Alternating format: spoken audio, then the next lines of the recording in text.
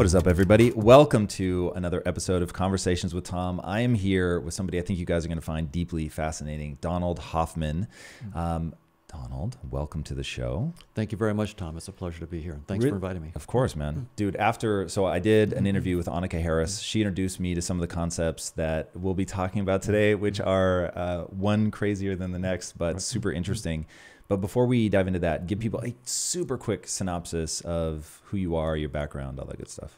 Uh, I'm a professor at the University of California at Irvine in the Cognitive Science Department. I've been there since 1983, and uh, so I study visual perception, um, perception of objects and their, their colors and their shapes and their motions. And then for the last uh, 20, 30 years, I've been studying consciousness as well and trying to develop a mathematical model of consciousness and then studying evolution and asking does evolution shape our senses to see reality as it is or not so those are sort of the big topics i've been studying Yeah, it, a lot of this seems to go back to vision and the way that we literally see things. And by the way, don't and I don't know how much you know about me or my obsessions, but I'm obsessed with the movie The Matrix. yes And in your dedication, you I forget the names of the three people, but you said I offer you the red pill, That's right. uh, which I thought was pretty interesting. So, what in your world? What is the red pill? What is the red pill waking us up to? right most of us believe that we see reality as it is when we look up and see the moon it's because there really is a moon and it would exist even if there were no observers to see the moon it would still exist and we don't believe that we see all of reality no one thinks that we see everything that there is to see but we do believe that we've been shaped by natural selection to see those aspects of the truth that we need to see to stay alive. And so that our perceptions of space and time are giving us a genuine insight into a real space and time that would be there even if there were no observers to perceive it. and also our perception of objects like tables and chairs, the moon, quarks and leptons and so forth, that these things would also exist and have roughly the properties that we see, even if there were no creatures, no observers to see them at all. And the red pill that I'm offering is to say that if you believe evolution by natural selection, then the mathematics of natural selection makes it very, very clear that the probability is zero that any of the language that we use in our perceptions, the language of space and time, the language of shapes and objects and position and momentum and colors and so forth, is the wrong language to describe objective reality, whatever that reality might be. It's not that we're getting the shape of this table a little bit wrong or the colors a little bit off. It's that no description in the language of space and time and objects and colors could ever be, be true. Reality, whatever it is, can't be described in that language if we buy evolution by natural selection. So we have a choice between taking one of our best confirmed scientific theories seriously, namely evolution by natural selection, or taking our intuitions that space time is fundamental and objects are fundamental, taking that intuition seriously. And I decided to, to side with this science on this one. All right. So this, a lot of this stuff is going to be really difficult to tease out, but I think we have to sort of break it into points. I don't want to spend our whole time um, d- describing the theory. We may get lost for a fair amount of time in that. But I, what I hope we can do is sort of lay out the thinking and then get into some of the implications, why it matters, and all that good stuff. Sure. Um, so, if I guess let's back up. So, Sure. Tell me how natural selection gives us the mathematical model that invalidates all that. That's probably the right place to start. Right. Most of us think of natural selection and evolution as a biological theory that, that's, that's sort of intuitive, right? You know, if you are better adapted to the environment, you're more likely to pass on your genes and so forth. And, but it, it turns out that in the 1970s, uh, a brilliant guy named John Maynard Smith was able to use the ideas of evolution by natural selection and the tools of mathematics, in spec- particular uh, game theory, to create a new field, evolutionary game Can theory. you can you explain game theory? So Right. the when I was diving into your world, when I was reading the Right. book, when you talk about miracles, and I don't want to do this out of order, but you talk about like every theory has sort of a base assumption, Right. and it's like we can't ah, we can't explain that one, so just please accept that this is the the miracle as you call it, and then from here the rest of my argument is going to make sense Right. because I don't understand the math well enough. Right. The math every time you mention this, and nobody pushes you on it. Mhm. I don't understand the math well enough. It feels like the miracle to me, but it Mm. isn't to you. So what actually what is the math if we can sort of say it at a at a layperson's level? What is the math? How does it show Mhm. that there's a zero probability that we're describing reality as it actually exists? Right. So, so the intuition behind using game theory for evolution is very much like if you play a video game, right? If you're playing a video game, you have to focus on getting points as fast as you can. If you get enough in a short enough time, you get to the next level. Otherwise, you die. And an evolution is very much like that. There's points, they're called fitness payoffs, and you have to gather them as quickly as you can. And if you get enough, roughly, in a short enough period of time, you don't go to the next level, but your genes in your children go Mm. to the next level. And so it's that's roughly why we want to think about game theoretic kinds of things. But it's of course it's more detailed than what and I game theory is literally that. What survives to the next round?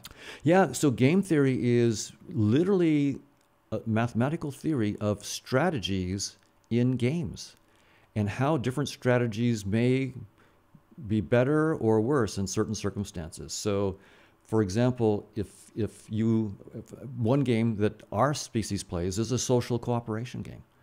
And when we were hunter gatherers, if we all went out and cooperated, I went out and hunted wildebeests, and you went out and hunted wildebeests, and others gathered berries and so forth. We all worked hard and came back at the end of the day. If I didn't get enough and you got more, then you might share with me, and tomorrow I might share with you. So that's cooperation. But and so that works very, very well. That's that's a strategy that works how, very well. How would we define this game? So I was tempted mm-hmm. to say, okay, so it's about the people who have the mm-hmm. strategy to win this game called life, but I'm not Mhm. sure that's actually how you'd define it. Would mm-hmm. would it be the game called procreation? Right, Or, right. Okay. So in evolution, fitness is all, all about procreation. In fact, basically that's how it's defined. It, it, it's almost um, it almost sounds like it's a, a tautology that fitness being more fit means that you're having more offspring. So whatever you do that lets you have more offspring is by definition giving you greater fitness. Hmm. And so so in the case of cooperation, I mean that's not the only strategy by which a species could uh, be successful at having offspring in the next generation. But for Homo sapiens, that was a strategy that we did use, and, and many social species do that, ants and bees and so forth. But, but as soon as you have that strategy of cooperation, then it turns out there's another strategy that could be very fit, and that's cheating. So I could pretend, I'm, I'm a loafer now, I don't want to go out there and put my life on the line in front of a wildebeest. And so I just go down to the river, I hide out and relax and take it easy and come back and go, oh, I worked really hard today. I couldn't find anything. Could I share some of yours? Mm. Well, and, and so it turns out that that strategy is very, very fit in the sense that I didn't put my life on the line. If you're willing to share with me, I'm going to survive. So I'm going to have, so that strategy will af- actually proliferate. I'll have kids, I'll have more loafers. And so, but it turns out if you, if you have too many loafers, too many cheaters, then no one's bringing home the bacon Hmm. and the whole thing collapses. And so you get the idea that the, the, the, the fitness of a strategy depends on the other strategies that are around. If everybody else is cooperating, then being a cheater is very, very effective. It's a, it's a fit strategy. If everybody's a cheater, then it's not fit to be a cheater because everybody's going to die. And so that's what we call frequency dependent selection, that the frequency of a different of a strategy um, will affect its fitness. And so that makes it more complicated. And that's why we have to do mathematics. It's, you can actually, with mathematical precision, predict exactly what proportion of the population will be cheaters and what proportion will be cooperators once you know certain things about the strategies and, and their payoffs. And so it's that's why we use evolutionary game theory. It allows us to go away from just intuitive uh, notions of evolution and selection and so forth to precise definitions of strategies, of their fitness, how they interact. When, when three or four, or four, five or n strategies interact, what happens? It gets very, very complicated. Then our intuitions just give up, but the math can still carry on where our intuitions give up. Okay, so you partner with a mathematician, and did Mm-hmm. you have a theory that you wanted to see if he could write the the sort of algorithm for, or how did that Right. work? How did we end up focusing on math? Right. So in about 2008, I decided I really wanted to go after this because I, I had a suspicion that evolution would not favor creatures that see reality as it is. I figured that it would be too complicated and take too much time. And it turned out that was correct, but, but it was more interesting. So I got a couple of my graduate students working on this. I worked with them. We learned evolutionary game theory, and we started. They, they wrote simulations, and so we just simulated creatures with different strategies, and we let them see all of the reality or none of the reality. We let them just see fitness payoffs. Give, give me some of the data points. So one of them is going to be fitness payoffs. right. when you're writing the math Right. um, uh, like are you making this from a human perspective are you taking this from an ant's perspective i've got to imagine the math looks differently depending on the species strategy that's already Right. evolved sort of over evolutionary time Right. so Right. oh god i can only imagine how complicated this is but Right. give me a give me a couple of the variables so that Right. this stops being one of the miracles for me and i can really start to Sure. Understand Sure. So one kind of game that we had them play was a foraging game. So you could think a big a big checkerboard or a big chessboard. and you had them play what do you mean them The so so my graduate students then had these simulated creatures, and we just plopped them down at random in this big, huge checkerboard. okay And we had also planted resources around on the checkerboard. and did you have to give them incentives Well, in in some cases, we would just we would either allow them to evolve incentives. So that was what we called a genetic algorithm. So we started off and they were all stupid.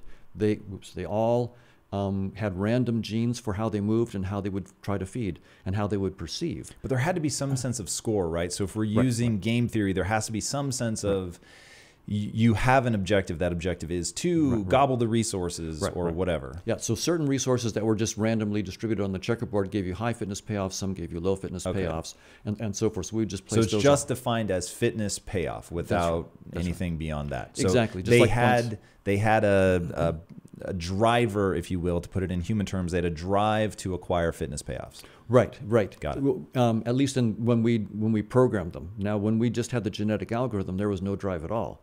The they they just What had- would make them move? so they they had to do something, but the genes were random. So they they would do stupid stuff like they would stay in one spot and try to eat, and and they would get nothing, and they'd just keep trying to eat there the whole time until that whole session, off. and, they would just die out. Right. So in the first generation, right, the, we Did they have the desire to eat and procreate? Like, were they looking to mate, or how did you? all the only the only desire was we we told them they had to do something every step of the game. That's all. And do was there something. a list of items for them to choose from? Eat, move. Yeah, yeah, uh, that's right. Eat and move, and that was pretty much it. And and step. Yeah, eat and move. That's right. And then you had something on the back end that said if they score this many number of points, then they essentially procreate That's and they right. move on to the next generation. That's if they don't, they're dead. that's exactly Okay, right. got it. So the first generation, pr- pretty much all of them just acted very stupidly. They didn't get any fitness points, or very very few. Hmm. Some bumped against walls and just kept bumping into the walls. And so we would just breed the ones that were a little bit less stupid than the rest, and then make a new generation of them. And we did that for four or five hundred generations. And then by the time we'd done that five hundred generations, we had creatures that looked very purposeful. They were foraging in an almost optimal pat- pattern. They weren't wasting any time and they were getting high fitness payoffs. And we could look at their perceptions.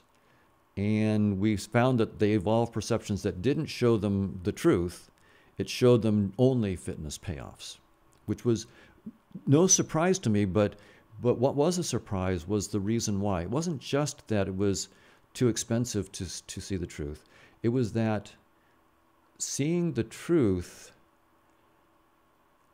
and seeing what you need to survive are very, very different things. And, and so, so I went to a mathematician. Once, once I had the simulations, and I realized that this looked like it was a real result. And then I gotten some new ideas about what was really going on. So the simulations really taught me. It wasn't just that it was too time and, and resource expensive to see the truth. It was that, in some sense, the truth is completely irrelevant. That, that it's, and, and also that the fitness payoffs themselves don't tell you anything about the truth. They're, they're just independent. So I went and, and worked with a mathematician uh, named Chetan Prakash. And um, we've worked together. He's the mathematician. I'm I'm, I'm not. And we have, and I've gotten some other collaborators as well, some very, very good collaborators. And we have a couple papers that we've now written where with two different angles on, on the theorem. And the bottom line is, is this. Um, it's, it's straightforward to prove that, well, straightforward if you have a mathematician working with you, um, this, but to prove that the, an organism that sees reality as it is, in whole or in part, is never more fit than an organism of equal complexity that sees none of reality, whose senses actually don't have the right language to see reality, and is just instead tuned to the fitness payoffs. Okay, so this is the, sort of the first thing that I trip over. So um, I get where I could see that it is more advantageous to be optimized for fitness payoffs than it is for reality. Right. And this might be a good time to give people your sort of VR explanation so right, that we right, we can bring this into something they can visualize. But first, let me finish what I'm bumping on. So sure, sure. I get how if you're optimized for fitness payoffs, that makes more sense than being optimized for reality. Reality could have too much just complexity. The processing power that it would take to understand is crazy, which is exactly why I think your desktop analogy is probably the, the better one to hit right now. Sure. Um, but what I don't understand is why it is necessarily true that you need to hide reality. Like why that would be part of it. That seems right. right. sort of a bridge too far for my my simplistic mind. So that is a bit technical, but I, but the top level idea is um, that fitness payoffs depend on the state of the world, right? So to be concrete, and the organism, and right? the organism, right? They depend on the world and the organism and the state of the organism and the action. So, I mean, one example is, you know, if, if I have a T-bone steak, and you know, the fitness payoff of that T-bone steak for a hungry lion is pretty high, but for the same lion that wants to mate, it's very, very low. And for you know a cow in any state and for any action, the T-bone steak offers no fitness payoffs. And and it, uh, another example is if I'm 5,000 meters underwater, that's pretty bad for me, but for a benthic fish, that's it's perfect for a benthic fish, right? So so evolution by natural selection has this idea that there is an objective reality, and fitness payoffs do depend on that reality. But the payoff for the same state of reality could be very, very different for a benthic fish than for me. For a benthic fish, 5,000 meters underwater is the same state of reality as it would be for me, but the payoff is very, very different for the benthic fish than okay, for me. so it would kill me. This this may not be the thing to dive into, but uh, I'm going to push on this a little sure. bit and see if we get somewhere fruitful. Um, what where I sort of come to in your theory is that there lurking under this mm-hmm. is, is, a reality, right? The right. moon is there to describe something. It's my shorthand. It's not. It right. is not a meaningless shorthand. Right. It is a shorthand to help me get my um, my fitness payoffs. Fair, but it it represents something. Okay, so if that is true, understanding that I am 5,000 feet underwater still seems relevant, even though it's not, it doesn't have a fitness payoff. So obscuring that or obfuscating that for me so that I can't understand that I'm 5,000 feet underwater is not helpful. Okay. Right, right. I can tell that if we chase that, we, we won't get where we want to go. But if you give us the desktop analogy, right, right. because this I think will, will give us the anchor that we need to keep right, exploring. Right. right. So, so if evolution didn't shape us to see the truth, what did it shape us to see? Mm. And the I think the the good analogy is that it gave us like a desktop interface. So if you're um, writing an email, and the icon for the email you're writing is blue and rectangular in the middle of your screen, does that mean the email in your computer is blue, rectangular, middle of the screen? Uh, middle of the computer? Of course not. That I mean, anybody who thought that misunderstands the point of the interface. It's there not to show you the truth, which in this metaphor would be the circuits and software, the diodes and resistors, and magnetic fields. You don't want to deal with that. If you if you had to deal with magnetic fields to write an email, good luck. You would never. No one would hear from you. And so that's what evolution did for us. It gave us a desktop interface that's there to hide the truth, right? The desktop interface on your computer is there explicitly to hide the circuits and software. You don't want to see that stuff. That would seeing the truth would get in the way. But isn't evolution somewhat of a blind watchmaker? I mean, right. to just steal Absolutely. from from my man, Mr. Dawkins. Right, right. So if it is blind, it's not hiding anything. so it's just it's optimizing you for something. So that's where I get into the like the the punchline Mm-hmm. of your theory, not to get too far ahead, but for people to understand why I'm stopping you. So Right, sure. the the punchline of the theory is we are so the far like so far off from what is real as to like not even be able to Right. to conceive of what our world really is. And we will Mm-hmm. definitely get into space time is doomed. It's one of the most fascinating things to come out of Yes. um, your theory. But it's like, I, it doesn't feel like a blind watchmaker is going to hide something from me. It, it just it it has no sense of it. It's just here is the shortest path across the checkerboard to get to this thing. It's not trying to trick me into thinking that there is no checkerboard. It's just like, eh, take this path, go that way. It's the shortest path. I'm essentially lazy, right? If you think about um, caloric realities, right? So uh, the way that I look at a, a human, um, I, I want to write a book called The Physics of Being Human. Hmm.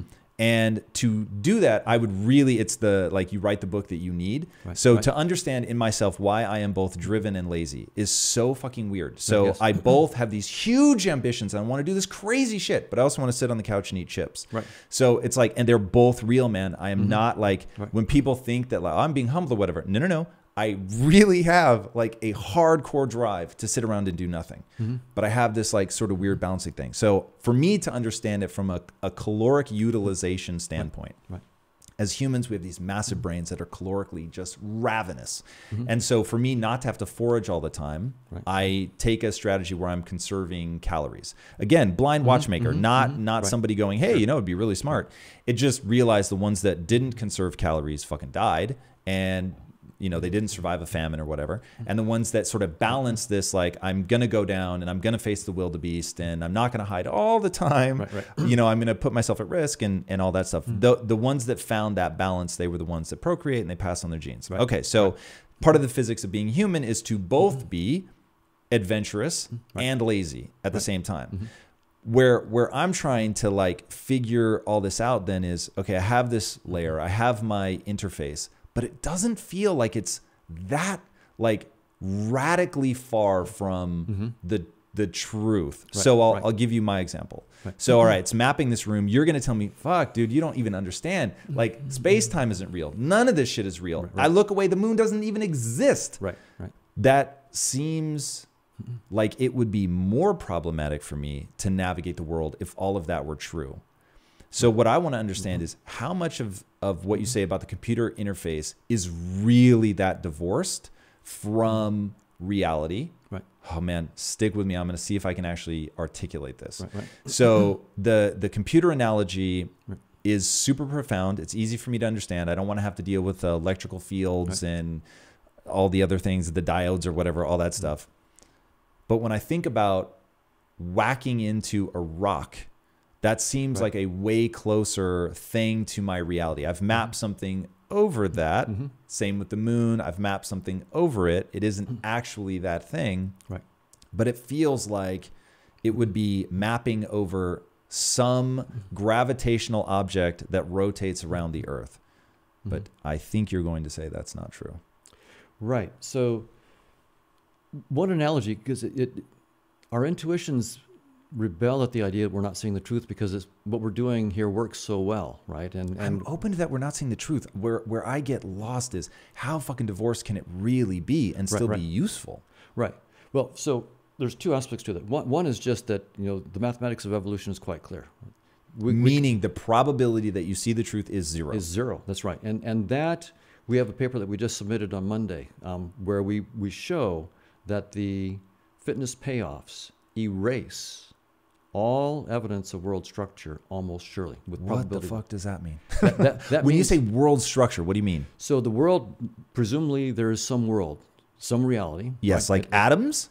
Uh, well, you don't need to postulate exactly what that. I need to know what you mean by the word the word structure. So it could be, and what we show is it doesn't matter what the structure is, pretty much the result holds. So it could be, for example, a structure like uh, a distance relationship, a met- what we call a metric, or a topology, Yes. Or a measurable structure, Okay. or a total order, like one is uh, smaller than two is smaller than three. That, that's a total order, right? Uh-huh. So whatever the so what, what you can show is that no matter what structure you might think the world has, you can prove that the fitness payoff functions that govern our evolution. So you're right. There's no, of course, goal. Right. It's not a goal-directed kind of thing. Right. It, it- you know, evolution not trying to do anything. And but the point is that the fitness payoffs which govern evolution, the probability that they will actually preserve the structure in the world, so that by being tuned to the fitness, you're tuned to the structure in the world. Yeah. That probability is precisely zero. That's what we prove. So the only thing that we know is what you think is real is the only thing we know is not real.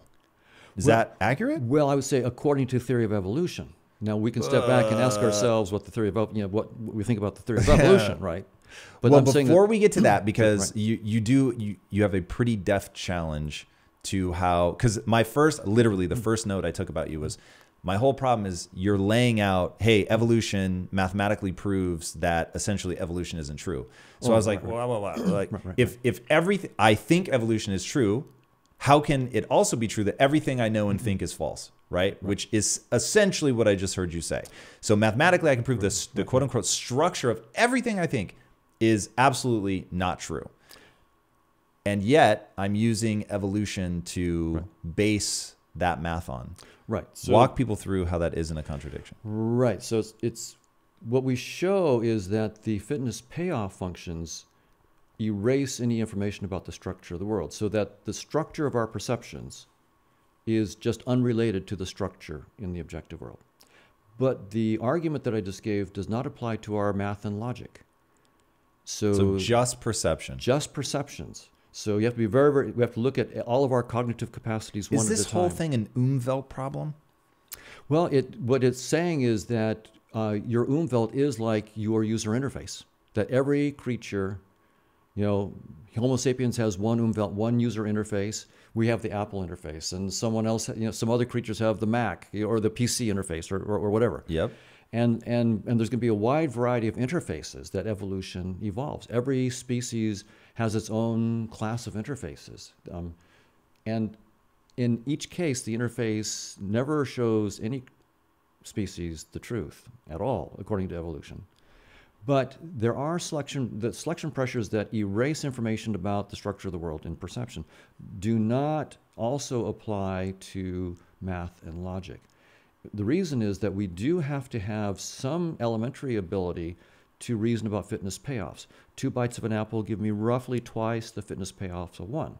So, not reasoning about objective reality, just reasoning about fitness payoffs and the logic of fitness payoffs, right? So, that's why uh, there's no selection pressures necessarily to be geniuses at math and logic. But at least the selection pressures are not uniformly against any capacity in math and logic. Whereas in the case of perception, it's one can show the the pressures are uniformly against any access to the structure of the world um, in, in terms of the structure of what we perceive in, in our senses. So that's why we have to be very, very careful. So, certain, for example, Christian philosophers, uh, Alvin Plantinga, for example, has argued from, uh, not mathematically, but informally from evolution, saying that it, it would make all of our cognitive capacities unreliable, and therefore evolution by itself was unreliable theory, and therefore we should not, you know, not believe it. And I'm not saying anything like that at all. I'm saying that the theory of evolution has a core that John Maynard Smith found, evolutionary game theory. When we look at that core, we find that there are certain peripheral assumptions, like DNA exists whether or not it's perceived, space and time exist. Those peripheral assumptions turn out to contradict the mathematical core of the theory, and, one can prove that. But math and logic, our ability with math and logic, does not contradict the evolutionary, you know, the core of evolutionary theory. So this, we have to be very, very careful. That's why when you, you do this, you know, it's, it's not just hand wave anymore. You really have to look at the replicator equation. You really have to look at the fitness payoff functions and do combinatorial analyses and so forth. This is very, very careful work. But that's what we do with our best scientific theories. We take them very, very seriously. We look at their equations and say, okay, if the equation entails the probability zero that we see reality as it is, then we've, we've got a choice. We can agree that we don't see reality as it is, or we can say we need to revise the theory. Now, we don't have an alternative to evolution by natural selection. So, if someone wants to propose one, they've got a lot of work to do because evolution by natural selection is an incredibly successful theory. So is space time though, and you're you're ready to ditch that one. Sure, yeah. So um, okay, so I'm I'm getting I think what you're saying about per, our umwelt and because we haven't defined that, I'll define that. So. Uh, umwelt is your senses taking the world in a certain way, and uh, we have different senses than a bat. So a bat can do echolocation, we cannot, and therefore the way that a bat interprets the world is very different than the way that we interpret the world. And every sort of species has a different umwelt. You can even have humans that have a, diff- a slightly different umwelt, one that's colorblind. Um, there's a million other examples, but you you get these variations that are massive between species. Um, you get like a dog, the the amount that they can smell is crazy. They can smell a seizure coming, which is absolutely right, right, bananas. Whereas, of course, you're not going to get a human that does that because of the number of um, scent receptors in the nasal canal. And so, cool. All right, that that's an umwelt. So I get perception. I get that this is a a problem of perception. I think I understand the math part. I prob because I'm going to I am making a layman's assumption that math is a universal language. I've heard that repeated a million times. I am so bad at math. I don't even understand that, uh, but I accept it out of ignorance. Uh, the logic part. Let me define logic based on what I think you're saying and you tell me if I'm getting it correct. So, logic, the way that I understand it from the way that you just use it, because I would have said it's human reasoning. So, I would have gotten tripped up um, on like natural selection or oh god the one you just used it as an example and you said that that we think space-time a great example right we have in my layman's view we have logicked our way to space-time but that's failed me so um, tying it back to fitness payoffs, I think is, is your definition of logic that we have to be able to reason that one bite of an apple is not as good as two bites of an apple. It's, Right. Is it really that basic? That it's, it is entirely tied to fitness payoffs. That's well from an from the evolutionary arguments that I'm giving, right? So the arguments that that But do you think that logic reaches deeper than that when you say that it's untouched by this um, false interpretation? Oh God, I'm putting words in right. your mouth. Well, right. So okay, so that gets to the bigger picture of what I'm up to here, right? So and this is how science progresses. What we do um, is we take our current best theories and we try to push them to their limits and find out where they break, where they fall apart. And when we do that, that's when we break out the champagne. Because the whole point in science is to push our best theories to the limit to find out where they break down and then get some clue about a deeper theoretical framework. And the constraint on that deeper theoretical framework is it better agree with our current theory where our current theory is right. But it, only if you're saying that that theory is logic. This is another one of those times where I bumped against what you're saying. Mm-hmm. So, and and this may be that simple. Is that what you mean? That like where we are using true logic, Right. as you define it, tied to fitness payoffs, I think. Um, then it must agree because you've said if you work backwards, I'm not trying to get rid of evolution. I'm not trying to get rid of the things that we know. Like we can launch a satellite into space and geo target you, but that requires relativity. So whatever we um, get to, whatever answer we come to, better be backwards compatible with the ideas that essentially work. Can you give me a definition though of work, and is it tied to logic as you define right. it, and thusly fitness payoffs? Right. So, so the idea would be that scientists are doing reasoning, right? Science is about reasoning, Is reasoning a synonym for logic to you? pretty much. Okay. that's right. And if we um, we can't. Logic is, in some sense, non-negotiable. In the sense that if I let go of reason and logic, then there's nothing left, right? Is that true? R- because all we can do is if we if we're having a conversation Mm-hmm. we can talk informally but we can't make very good progress unless we are absolutely precise in what we say I'll agree with that. But let me tell you how that struck me. So, does somebody who's schizophrenic do they have reason and logic? well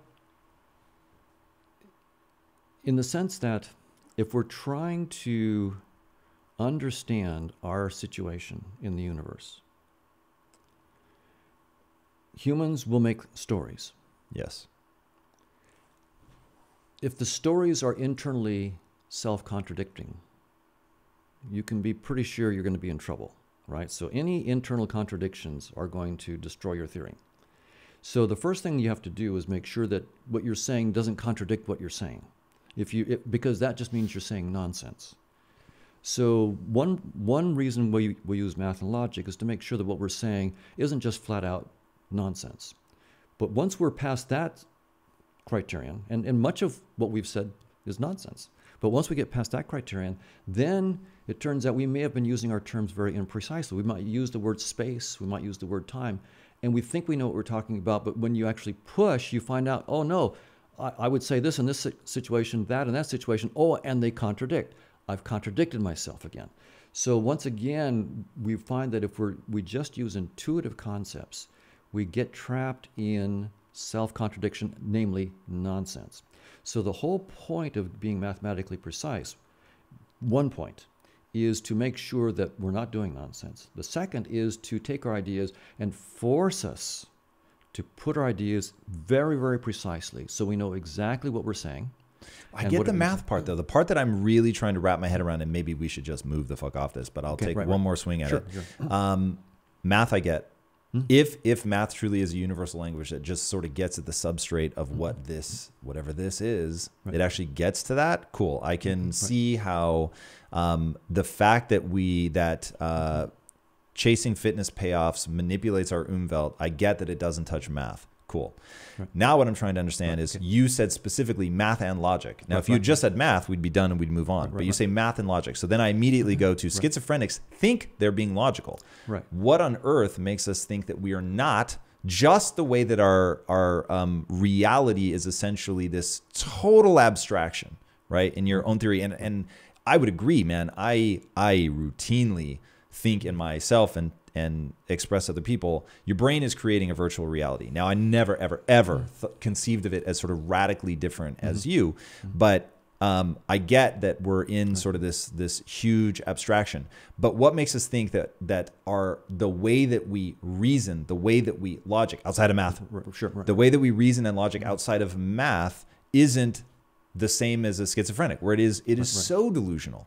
Is it just the internal consistency, or right, and couldn't that itself be a delusion that our fear of right. internal mm-hmm. um, contradiction is gotcha. problematic? Is is actually a delusion in and of itself? Oh, very very good. So I see your question now. So yes, there are deep issues here in terms of of logic, and there is something called Gödel's incompleteness theorem that basically give it to me.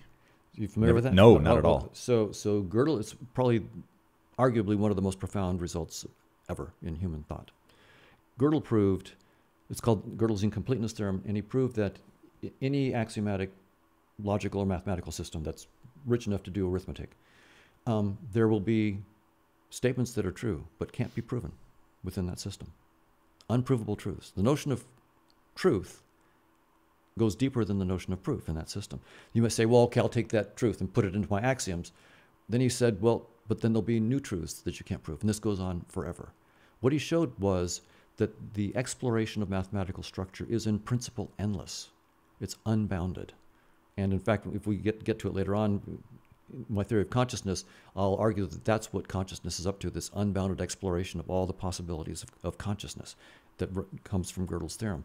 But you're, you're absolutely right. We can choose. Give me Gödel's theorem one more time. Right, right. right. As so, simply as you can. Right. The, the simple bottom line is there is no end to the exploration of mathematical structure. It's turtles all the way down. All the way. And in principle, you can never know it all. Whew, okay, interesting. and I definitely get how this ties into your theory of consciousness. So let's spend a minute on turtles all the way down. Uh, super cool story. It I, I, don't remember where this started, so if you do, by all means, jump in. But it uh, woman was claiming that the Earth is flat, and so somebody mm-hmm. said, "Okay, if it's flat, then what is it sitting on?" And the story right. goes that it's sitting on a giant turtle. And so the person asked her, What is the turtle sitting on? And she said, Don't be ridiculous. It's turtles all the way down. and of course, you get into this. Eventually, one of those turtles is on something. So, and that's that same human, like visceral reaction is how I react to your theory of consciousness. So, right. why don't you give it to us? And then we're going to start playing around with the brain. Okay, right. Um, but right. what is your theory of consciousness? Right. So I'm saying that space and time aren't fundamental. because evolution by natural selection entails that. Not only not fundamental, but not real, right? That's right. They're they're only real as forms of our experience. They're Our not. umwelt. That's right. They're our umwelt. They're not. They're part of the virtual reality desktop That's right. abstraction. That's right. Okay. But they're not real in the sense of an objective reality, in the sense that they would be there even if no creature were around to perceive it. So it's again like a virtual reality. Every time, like if you're playing a, a game of uh, you know fast race cars in, in virtual reality, I see Can a I- red Corvette. Sorry, I'm so sorry to interrupt, but uh, would another way to say that be because you say when I look at the moon and then I look away that I you haven't said this in this interview, but I've heard you say it many times that you, you trash bin it or something like that. Right, You're no yeah. longer rendering it. Garbage collector, right. Garbage collector. Right. Um, would another way to say that the moon doesn't exist, quote unquote, if there were no species to perceive it, it's really that there the moon wouldn't be um, created essentially. It's like it it it is requiring an umwelt of a particular species to create that shorthand Right. over evolution to say whatever that thing is Right. that the moon is meant to represent. Right. Um, it has been created by humans as a moon. Maybe bats see it entirely differently, and fish don't have any sense that it's real at all. Who knows? Mhm. Um, it's really that we we evolution maybe is is a better way to say it. That evolution has created this virtual reality, and therefore, if that species ceased to exist, its version of virtual reality would obviously cease to exist because it's being Right, created. exactly. Oh, but I'm going to say it's being created by the brain. You're going to say the brain's not real. Right, right, right. Uh, right. Is that true? Right. The brain. Okay, yeah. Right, This is right, where the shit gets so complicated. Right, right. Okay, so I'm going to shut up now. Right. Uh, back to your theory of consciousness. Right. So, but I just point your, your VR thing is, is I think a, a good example for anybody who's spent time in VR. What I'm saying will be obvious, right? If you're playing a VR game of like race cars, you see a red Corvette when you turn your headset that way. You know that you're only seeing a Corvette that you're creating when you turn your head that way. You turn your head to the other side, now you're seeing a blue Mustang. The red Corvette is gone. It doesn't exist. There's no red Corvette in the computer that's running the game. The red Corvette is only in your mind when you look over there. Now you're seeing a blue Mustang because you're making that. And so you, you're rendering these things and then destroying them. There is a reality, but it's not Corvettes and it's not Mustangs. It's the supercomputer that's running the game. And that's what I'm, all I'm saying is evolution gave us this headset and it's no surprise. I see the moon, I render a moon. I turn away, I don't render a moon, so the moon doesn't exist. There is something, but it's just not like a, it's, it's not the moon. It's nothing like the moon. Just like there's something, there's a super, supercomputer in the, the VR analogy, but in the supercomputer, if you look, you'll never find any you know green Mustangs or, or red Corvettes. You give an example in your book that is so powerful. If you would take a second, Sure. you describe what's happening in your eye when you look at a scene that includes a red apple, and the way you describe it at the photoreceptor level, I was like, oh my God. It gave me such an understanding of how terrifyingly complicated All right. things actually are. Do you remember the part that I'm talking about? Mhm. Right. So this is now just normal physiology, and so for the moment I'll be talking as though you know I believe in brain science and and, and, and, neuro, and, and, and we have to do that As right. if. I right, love it. right. So Yep. we have to bracket everything is within the framework of a theory. So I'm Yep. now using neurophysiology and, and physics right now for this to describe this. So when you look at a red apple, and suppose there really is a red apple, just for sake of this argument, it's got a real shape and light rays hit it and they have certain frequencies and they pass through the lens of your eye, which focuses it on the back of your eye, just like a camera would. And on the back of your eye, you've got a piece of brain called the retina. It's a, it's nervous tissue. So it's a piece of nervous tissue. It has 120 million photoreceptors. It's like a 120 mega, megapixel camera. And each photoreceptor is just reporting how many quanta of light, how many photons it catches. So I caught three, I caught 10, I caught 50. That's all you've got, a bunch of numbers. So you have 120 million numbers. There are no colors, there are no shapes, there are no motions. There's just 120 million colors, uh, numbers, not, not, not even colors. It's like if you look at the, uh, the, the digital output from a video camera, you'll just see a stream of numbers. If you look at the stream of numbers, you'll see the problem that vision has. You can't tell from the stream of numbers what's going on. You have to create three dimensional objects and shapes and colors and so forth from all those numbers. And so that's the problem that we have in vision. You have all these photon counts, 120 million photon counts on each eye.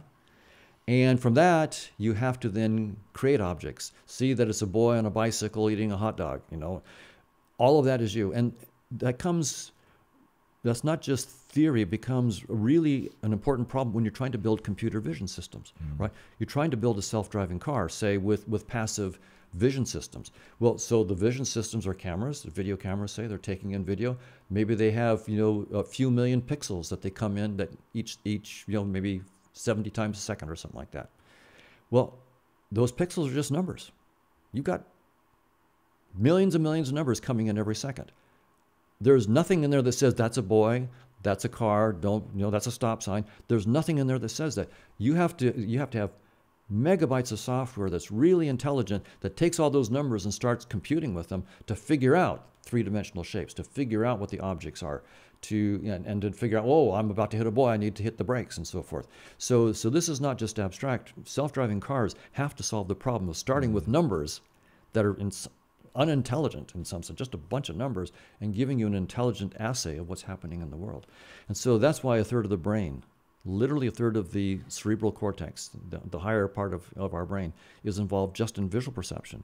When you add the other senses, it's, it's more like half the brain is involved in sensory perception because the senses are doing an incredibly complicated job. But from my point of view, what they're doing is they're building a VR world.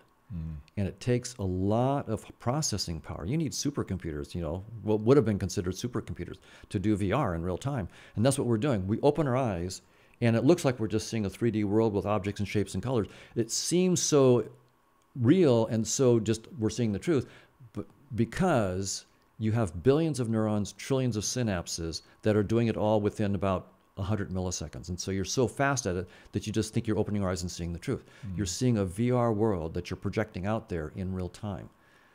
Of course, now I'm going to rescind the brain part, right? So um, the brain itself is part of the space time interface. So the brain itself is just our VR symbol for something deeper that's doing the real work. And so the question will be what deeper theory can we come up with? Right? So it's going to be a theory outside of space and, and time. But this gets back to what we have to do in science all the time. We push our current theories to the limits till they break. And then we have to actually take a creative leap. We can't necessarily just use the language of our theories that we just broke. We have to come up with a deeper language, and that is a leap. When Einstein went past Newton, he took a deep leap. Mm. And when quantum mechanics went past Einstein and Newton, it took an even deeper leap. And the language was entirely different. But you can show, for example, that if you start with Einstein, you get back Newton roughly as the speed of light goes to infinity. The way Newton talks about space and time and matter, you know, mass, those terms actually mean something different than what they mean in Einstein. In Newton, mass is mass. And you have the same mass, period. Mm. In Einstein, your mass depends on your velocity. Your length depends on your velocity. Distances depend on your velocity. None of that space and time and mass don't behave that way at all in Newton. We use the same words, but they mean something very radically different in Einstein. And in quantum mechanics, it's, it's even a deeper leap. But with quantum mechanics, you get back Newton as something called Planck's constant goes to zero. Again, roughly. I mean, this is sure, sure. for first approximation. So what we, so the leap I need to make here now is evolution by natural selection is telling us that the language of space and time and then objects in space and time, is the wrong language to describe objective reality. So the leap I need to make is to say, is there a deeper theoretical framework that I can come up with? Such that when I look at the dynamics of that deeper framework and project it back into our VR interface, which I'm which is space and time. So I've got this VR headset of space and time. That's what evolution has told us. This thing is just a headset You've got to guess, right? I'm not telling you what's outside the headset. I just told you all I can tell you. Mm. It's a headset. Now it's up to you to take a stab at what's behind the headset. So that's what I'm up to. So I'm probably wrong, right? I mean, we weren't evolved. Evolution by itself doesn't say anything that makes me think I'm evolved to see the truth. Mm. But it, it at least is telling me that whatever the truth is out there, you're only seeing a headset. It's good enough to tell us that, but it's not good enough to tell us what's outside. That takes a leap outside of the theory of evolution. But the constraint on that theory is we need to show how our deeper theory could lead to me having a headset. And in that headset, it looks like things are evolving according to evolution by natural selection. Mm. In other words, my deeper theory has a strong constraint on it. It better look like Einstein's theory of space time, it better look like quantum field theory, and it better look like evolution by natural selection, the three big pillars of modern science. If I can't do that, then I know I'm wrong. So Even that- though all of those things exist in the headset. that's right. Okay, this is fucking fascinating. Uh, so now, Tall order. do you have that idea? I have a proposal. Let's hear it. I'm probably wrong.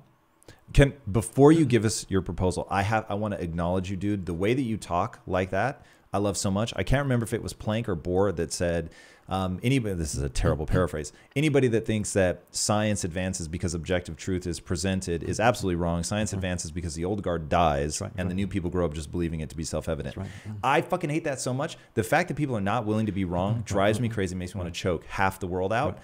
So the fact that mm. you talk from the perspective of, hey, look, I've got a theory. It's probably wrong.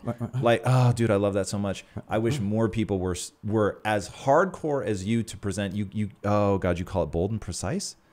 I mm. I present an, i- a theory hypothesis that's both bold and precise. Right, right. Love that, and that you're willing to be wrong.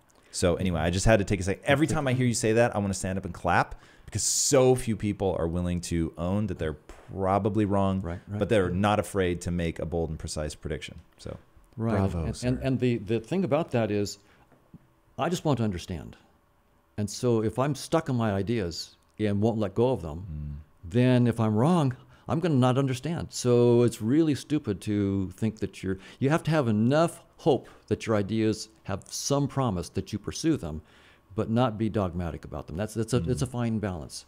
Very Um, much so. All right. So now our bold and precise claim is So I'm proposing, and I'll, I'll say what I'm proposing, and then I'll say why I went that direction. Okay. So I'm proposing that reality is a vast social network of interacting conscious agents. So that consciousness is fundamental, and think of it like the Twitterverse, right? There's tens of millions of Twitter users, billions of tweets, lots of stuff trending. It's a, Twitter users are tweeting and following, and, and, and so it's all a big social interaction, right? So I'm proposing, and it, this is a mathematically precise proposal, that there are things called conscious agents. So conscious experiences like the taste of chocolate, the smell of garlic, are fundamental, and limited choices based on those experiences. That's part of the whole structure. So experiences that inform choices. That's going to be the fundamental idea mm-hmm. in a vast social network. And the idea then about our headset is is as follows. If you are a Twitter user and you want to understand deeply what's going on in the Twitterverse, well, you can't engage with all 10 million users and the billion tweets. It's just overwhelming. You, you would die before you could even read all this stuff. Hmm. So, what do you do? Well, whenever we have big social media data, we have to have visualization tools. Those tools will necessarily ignore most of the data. And the part that they don't ignore, they're going to compress it down. They're going to digest it and compress it into some eye candy that we can understand. Some objects in three dimensions that have nice colors and move in certain ways. And using that visualization tool, I can maybe see what's trending in New York, what's happening in all, you know, so the big scale of Europe, what's happening in little scale in Irvine and so forth. So I'll have a tool that lets me zoom in and out and and it'll be ignoring most of the stuff. And that's what I'm claiming space-time is and physical hmm. objects.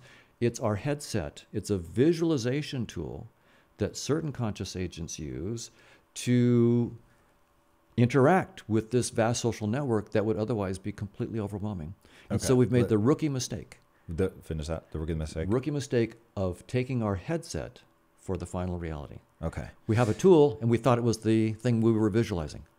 Amazing, very clear. Now let's back up and break these down part by part because conscious agent, I'm familiar enough with your work that I kind of know what you mean, but I don't think people understand that like how small you take that down. Because you're not talking that they're oh hey this is all a bunch of people, which is probably what somebody hearing this for the first time thinks that you think there are invisible people that make up this social network.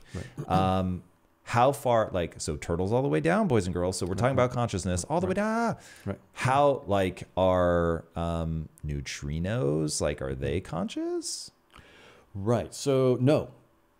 So this is very different from. is that because it's in the the headset That's right. Okay. Neutrinos are particles inside space-time. okay sorry So- I- so damn it Nothing right, inside space-time is. I fell for it. Rookie mistake. Uh, okay, so out outside, it, uh, so do you delineate between uh, advanced cognition and consciousness? Not in principle. No. Interesting. Right. So do you? I'm really trying to get you to use other words. So define agent. Right. So we're So- conscious. We're this is a collection of conscious agents having a social. Ex, did you say social media specifically? No, you Well, did not. Social no, network. Social network. They're like a vast social network. Got it. Okay, so uh, give me what a conscious agent is. The simplest example, the most trivial agent that the mathematics allows, is an agent that has only maybe two experiences, maybe like red and green. Okay. That's all it experiences. Why does it have to be two? Well, it could be even just none. I mean, you could have an, an agent that has none or one, but I, I tend to think about uh, what I call a one bit agent as sort of fundamental. But I could have an agent that has only one experience, like nothing or red. Has an experience makes me feel like I'm not I'm not interpreting what you say in the same way that you mean it. So Okay. you you said something and it went by so fast, Okay. uh, which was the taste of garlic and chocolate are fundamental, if Yeah, I remember conscious correctly. experiences. That's right. Okay, so literally the taste of garlic is a conscious agent. No, it's an experience. Okay. So that thing, it's not like, hey, Bob, you're the taste of garlic. No, no. no Okay. No, no. So sorry to use overly crass language, but that sort of, that was my initial interpretation of Oh, what okay. you said. Okay. So that makes sense. Right, right. So uh, I will then push and say, if that's the case, is this not, would not garlic and um, chocolate be tied to the umwelt of the species? Absolutely. So certain agents will But doesn't have, that mean it's in the headset then? Um, well, those experiences. So the headset is created out of your experiences. Uh huh. You, so what an agent does is uses some of its experiences as a format for a headset. But I, okay, so what I'm trying to get to, and I think this is what you were Mm-hmm. proposing, is hey, we take the headset off and we see. Oh, Like, what do we see? And I get that we have the problem of perception, and that's ah, the that's all back to the Umwelt and stuff. So, uh, see is a stand-in for obviously. I don't know how we would be interpreting this world Right. in the movie The Matrix. It is green code, right? So Right, right. when he explodes the agents, they explode into code. Right. So code is their fundamental element. Um, what is your fundamental element? Consciousness, I get that. Right, But now I'm trying to understand like how if it's consciousness all the way down, what is consciousness? Like is it a physical substrate or is it mm-hmm. not? And we have to let go of the mm-hmm. very notion of physicality? yeah. We're, I'm letting go of physicality in the sense I'm completely letting go of space and time and, and particles, electrons, protons, and neutrons.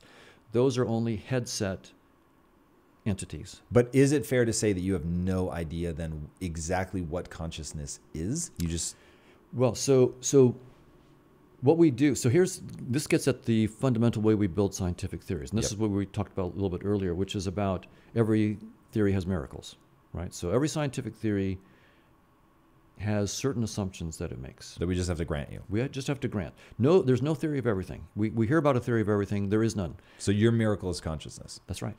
Okay. So there. So I'm saying that there are entities that I'll call conscious agents. These agents themselves are not conscious experiences. Why do they have to be networked? Well, it, it, it turns out that when agents interact, they form new agents. So when it, and I didn't know this when I wrote down the math. I was just writing down what, what could I possibly mean by consciousness being fundamental. Mm-hmm. And I wrote down the minimal structure I could think of that could have some set of experiences. So there's some set of experiences that this creature, this entity could have, and a small set of actions that it could take. And that was all I wanted to write down. But then when I had them interact with other agents, right, because the actions are to affect the experiences of other agents, it turned out the interactions satisfy the definition of a conscious agent. So when So- agents interact, they form new agents. Let me ask a question that I think is going to um, explode this apart and help us all understand what you mean. Okay. Do I exist? Um, yes, In what way? so you your conscious experiences exist. So all I can see is your skin, hair, and eyes. Yep. I see, but that's just my interface symbol. If you look at yourself in the mirror, all you see in the mirror is skin, hair, and eyes.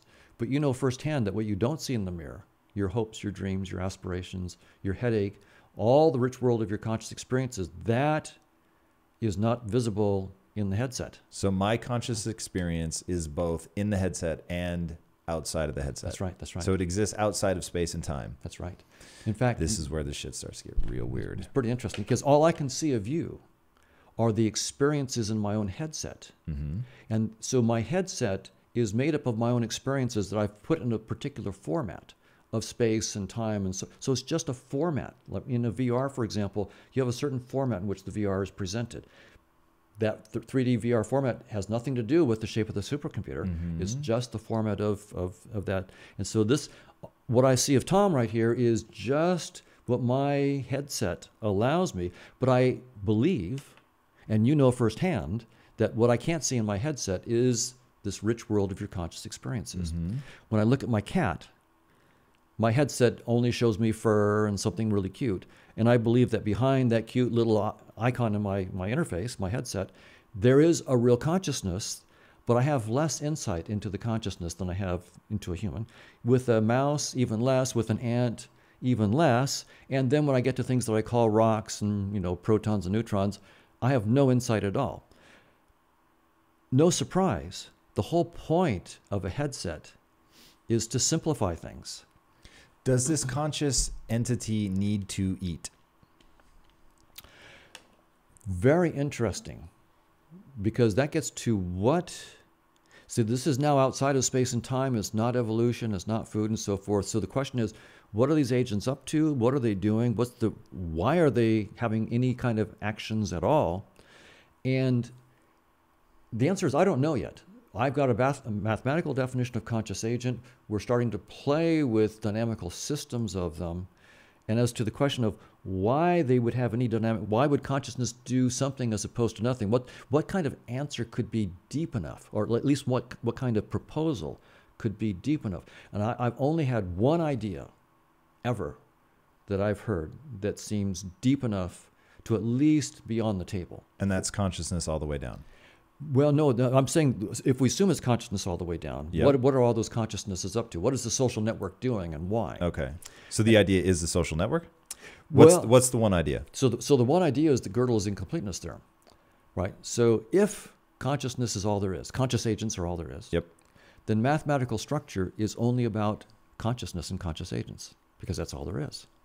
And that means Gödel telling us that there's endless exploration of mathematical structure means there's endless exploration of the possible kinds and varieties of consciousness and conscious agents.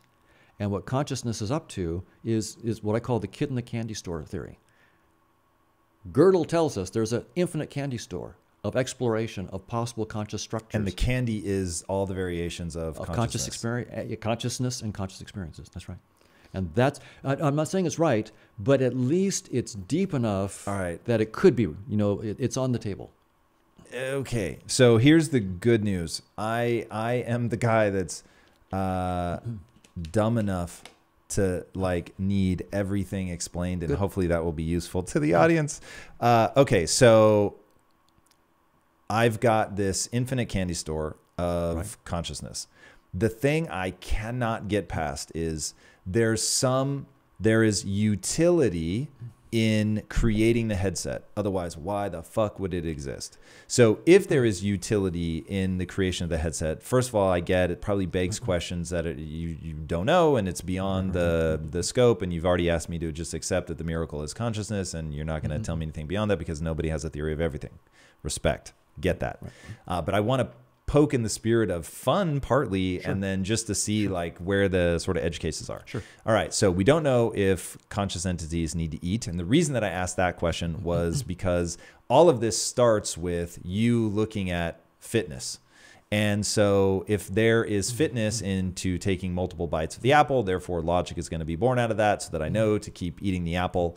Um, but then it begs a question of, well, what am I underneath the visor, or underneath the headset, just to Right. keep our nomenclature consistent? Mm-hmm. What am I beneath the headset, and why does it matter that I have a representation that that is based in the idea of fitness of eating an apple, Right. right? So that's where I'm like, what what is that a representation of? Why does this representation need to exist? Right. Like, have you? I'm sure you've daydreamed about Oh, this, oh, even if. Okay, let's hear it. Those are the fun questions, right? That's that's what we're really interested in is ask, answering those questions, and so we're going at it in two different directions.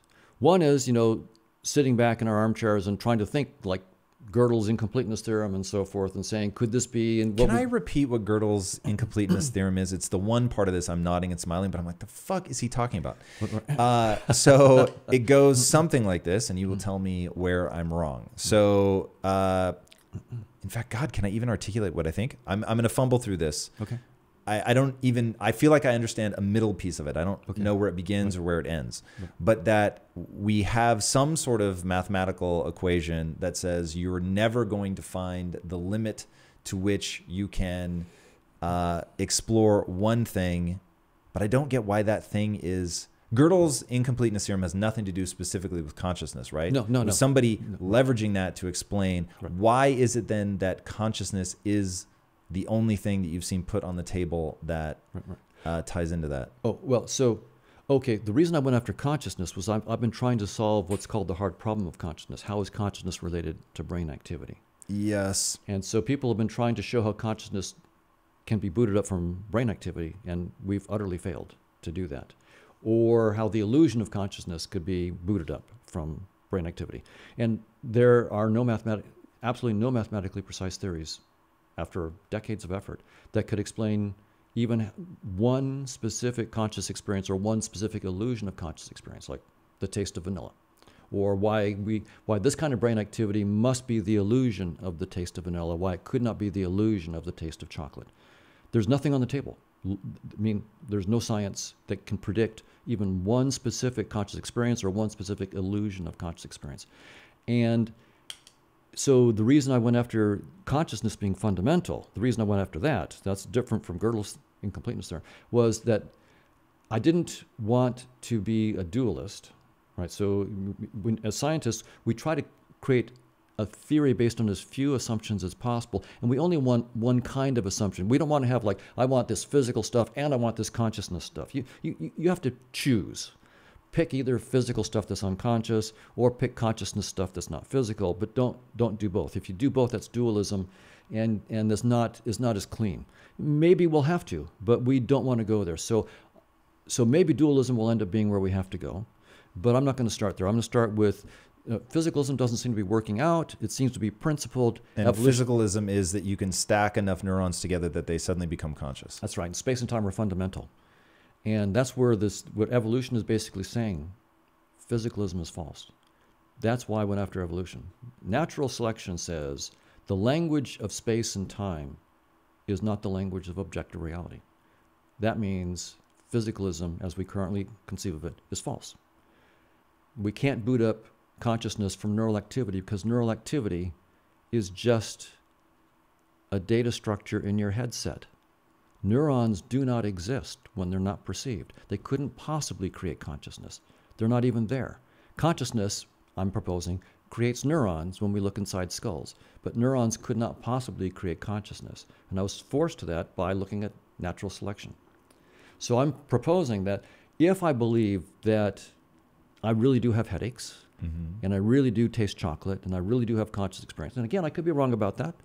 It could be an illusion. And just to be clear, mm-hmm. in fact, we never finished this because I am still, I'm just paralyzed by Gödel's incompleteness mm-hmm. theorem. But we're going to move on from that to not browbeat the poor audience. Mm-hmm. Um, so going back to uh, this network of conscious agents, you're saying, and, and this gets into the part about the brain I wanted to talk about. So split brain patients can have an experience of being literally two separate people. So you go in, you cut the corpus callosum. So everybody, to your point, for a minute, I'm going to assume that the brain actually exists. Sure, sure. Uh, so you go in, you cut the corpus callosum, which allows for communication between the two hemispheres of the brain, and suddenly you realize that two personalities will emerge Right. within the same head. Um, do they? They don't both have internal dialogue, do they?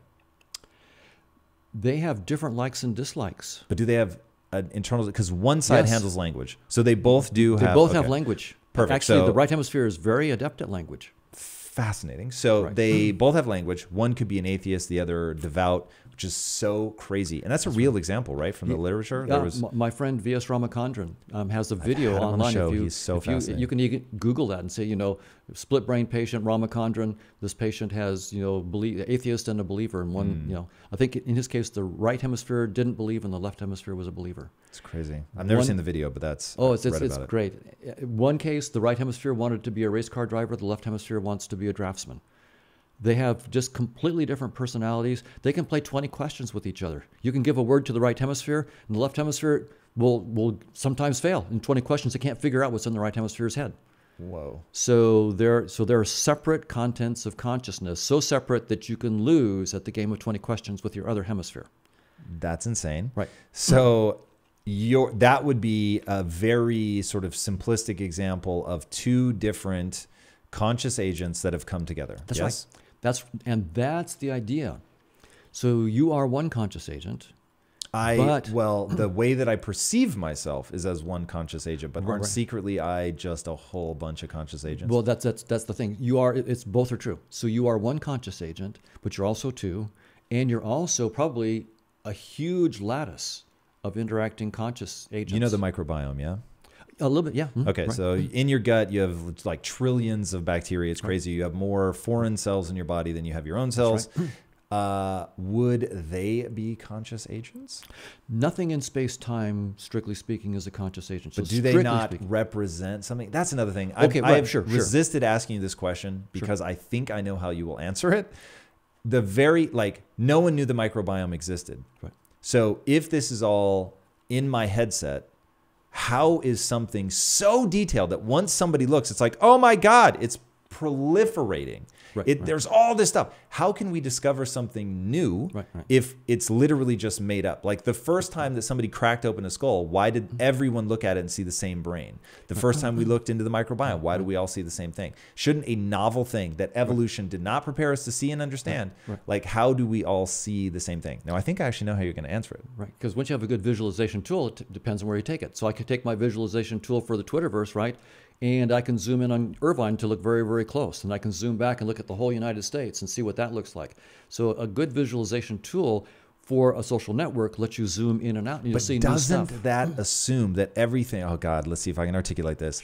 Doesn't that assume that tweets are a substrate that is universal? So that uh, the the the first image that came to mind was why the hell the first time somebody got their head bashed open did everyone see brain the same way? And I thought, okay, well he's going to say that the reason they did is because you have a facsimile in the headset for um, tissue that's made from atoms and so like that that visual structure it doesn't care like what it is. It's photoreceptors taking in i see this much mm-hmm. uh, light on this receptor this on that all that. So it's like hey i have a system for dealing with visuals and therefore when photons bounce off of this thing it's going to construct something and i understand things about mm-hmm. 3d and mushiness and mm-hmm. texture and all that. And so my brain is programmed for that so no matter what you put in front of it it's it's going to see that. I assume that is correct?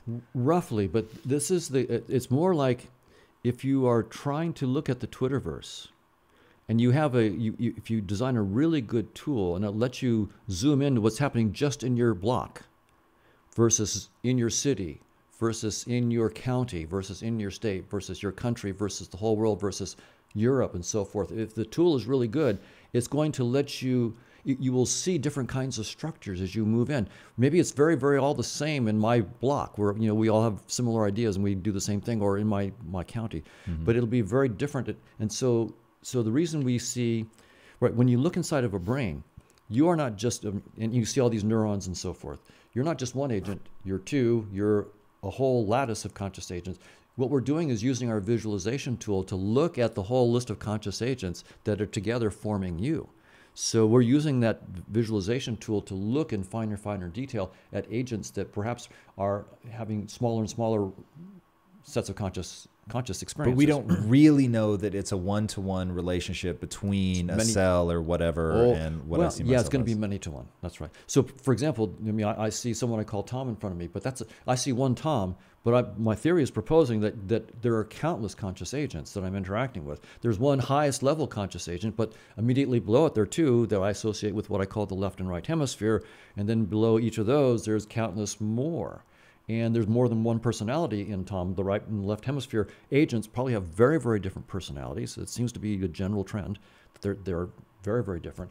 And who knows what goes among all those agents all the way down. So, my visualization tool, of course, all I see right now is skin, hair, and eyes. That, is pretty simple compared to what I'm claiming But you really are. Really good-looking skin. hair, Very, very eyes, good. If we're good- honest. And it's a really complicated and intelligent network of conscious agents, but I see just very, very little. But when I look, in, when someone looks inside and sees a brain, the 86 billion neurons they're seeing there is my visualization tool telling me there is a lot of conscious agents in a really complex social network going on here. That's what I'm seeing as 86 billion neurons. And then when we get down to chemistry, which is, you know, explode, that's even more and more complicated. Now, you know, saying, well, my, interface is starting to give up because you're not seeing much about consciousness. With, with neurons, you might be getting some notion of networking and exchanging information. Maybe at the, you know, biochemistry, you're not seeing that quite as well. And when you get down to, you know, quarks and gluons, you may be giving up, but there's tons and tons of quarks and gluons. And that's my interface telling me, look, I can, I'm showing you a lot about Tom. I'm not showing you too much about his two hemispheres, you know, the two agents. I'm showing you very, very little, but uh, you know, I'll show it to you in what you call, you know, 86 billion neurons, and then, the, uh, and eventually my interface is going to have to just give up because I mean the whole point of the interface is the network of conscious agents is too complicated for you to grok. You can't grok it. So we, I'll give it to you one agent at a time. Here's Tom, not even Tom's left and right hemisphere, just Tom, and then all the agents. If you want to, you know, you can get out. You know, if Tom will let you, he can. We can go in there and look in his brain, and we can. Tom will not let you. Yeah, I don't think he will. That's right. I that. wouldn't. That's right. so that's why the tool is showing us more complexity all the way down. It's it's a vast social network, and each agent isn't just a standalone. We're we're a combination of many many other agents. And that's going to be one part of the theory that's really interesting is mathematically precisely looking at all the ways that agents can combine. Hmm. But agents do combine. Uh, we'll be going to some new mathematics, I think, something called um, infinite categories in topoi, where Infinite categories. What? Infinite cat so it's category theory and it's called infinity categories and also topoi theory some some Topoi? t-o-p-o-i right The hell is that? it's uh, some fairly abstract mathematics that allows you to economically start to describe countless other ways of interaction and so what i want to re- i mean i have a few ways that my current mathematical model which just uses things called markovian kernels and measurable spaces Obviously. plotting for Right. what I mean. Most most mathematicians would, would say it's it's fairly plotting, but but it's it's it's it works and it's it's real math. We can start with that and then go to these you know category theories and so forth to actually get the full richness of all the kinds of ways that they could could connect and, and interact. And so Mm. I, I want to go after that. Um, but the, the the one question you asked earlier was why does it look like we have to eat and do the conscious agents themselves have to Mm. eat and what are they up to and how can we know and here's here's my answer to that. First i don't know the answer. So so here's how i'm going to go after it. First i i am thinking like gödel's incompleteness theorem we can come back to it. That might be a deep motivation for the whole dynamics. But suppose i'm that's wrong and i realize it's wrong and i realize i'm just not smart enough and my team is just not smart enough to figure out what conscious agents are up to and why they're doing it and so forth. What the, here's what we're going to have to do. We're going to have to propose a mathematical projection from the dynamics of conscious agents into space and time. And propose how that dynamics gets represented in terms of, for example, quarks and gluons interacting. Uh, right now, I'm studying scattering amplitudes at the Large Hadron Collider. I want to show how I can predict scattering amplitudes when two gluons hit, four gluons go spraying out from the dynamics of consciousness. The, the reason for doing that is that if I'm not, well, a couple of reasons, but one is if I'm not smart enough to figure out what consciousness is about, what I'll then do is say, here's a mapping in, that gives me back space time. Now, now that I know what, what's happening in space time, I'm going to pull it backwards hmm. and say, what does that tell me about the dynamics of consciousness? And I'll go, oh, I never thought about that. So, so conscious agents have to be interacting this way for it to look like this in my headset. So if I'm too stupid to figure it out, and it's, it's very, very likely, I will have to take my theory of conscious agents, project it into my headset, and say, what would it look like? Oh, I'm getting the wrong answer. Okay, so I need to change my dynamics of consciousness this way so it really looks like the scattering amplitudes of quarks and gluons in the Large Hadron Collider. And when I get that match, then I go, okay, this is at least one dynamics of consciousness that gives me the right answer in my headset. Now, what is it telling me about what consciousness is up to? Mm. So if I'm not if we're not smart enough to do it from first principles, and I want to do it from first principles, but if I can't, I'll try to reverse engineer relativity theory, evolution by natural selection, uh, quantum mechanics, reverse engineer all of those, pull them back to the realm of conscious agents, look what they're saying about the social dynamics, and then try to get a clue about what that's about and answer questions like Am I forced to think that they need to eat? Or is there some deeper principle? Is, is it, for example, that I can only send an experience to another agent if an agent sends an experience to me? Is there, is there that kind of dynamics? That, and, and is it going to be like um, the small world networks we see, for example, in the internet, where you get big hubs like Google and Apple, which get lots of hits, and then tiny little guys like Hoffman who gets almost no hits, and then a few in between. But but but you get this, and and there's in some sense the number of social connections you have is some sense your notion of fitness the creators of Google are billionaires. Hoffman's not a billionaire. There's a correlation between the number of hits that Google had, gets, the number of hits Hoffman gets, and the difference in mm. richness. Now, is that a deep property of these conscious agent networks or not? See, these are the, and this is what was fun about science. I don't know the answer. Evolution by natural selection has told me it's not in space and time. It's saying it's not, this is all a headset. You're going to have to think as a scientist out of the headset, but I, I can't tell you what's outside the headset. Mm. So we have to be very imaginative and we have to choose what we're going to go after because, of course, we're probably going to be wrong. So you need to choose what you think is going to be interesting. I'm going after consciousness because I'm trying to solve this hard problem of how is consciousness related to our brain activity. Mm. And uh, the mathematics is forcing me to see this vast social network. If I bring it to consciousness, there's this whole network but I don't know what it's about. All the science that we've ever done, all the science that's ever been done so far, has only been in our headset. Quantum field theory assumes spacetime. The fields are defined over spacetime. Relativity is spacetime. Mm. And evolution by natural selection has been about what evolves in spacetime. All of our science, which is very, very good science, has been in our headset. We've never really stepped out of our headset. But science has the tools. There is some initial work. There's a guy named Nima Arkani Hamed at Princeton, uh, Institute for Advanced Study at Princeton, who I think is taking some really important steps beyond the headset because he's, he's already realized space-time is doomed. And so he is already being very adventurous and stepping outside of space-time and looking for mathematical structures in which space and time and quantum mechanics do not appear. All right, I'm and there. There's them. something I find super interesting in this whole concept of space time is doomed. Right.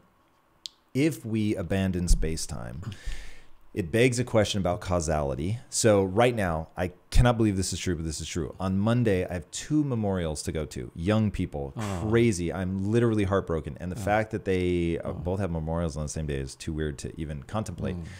So that got me thinking about the very nature of death. But if mm-hmm. time doesn't exist, right. is there like so?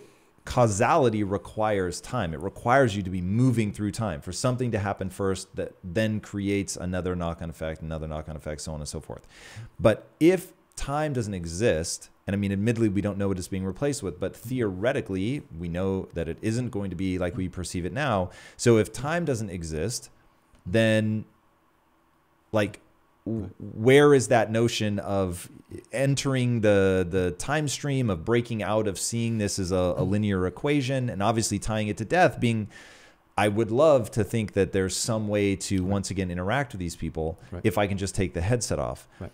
Um, do you have any intuitions or is there any math around Yes. like if it if it isn't?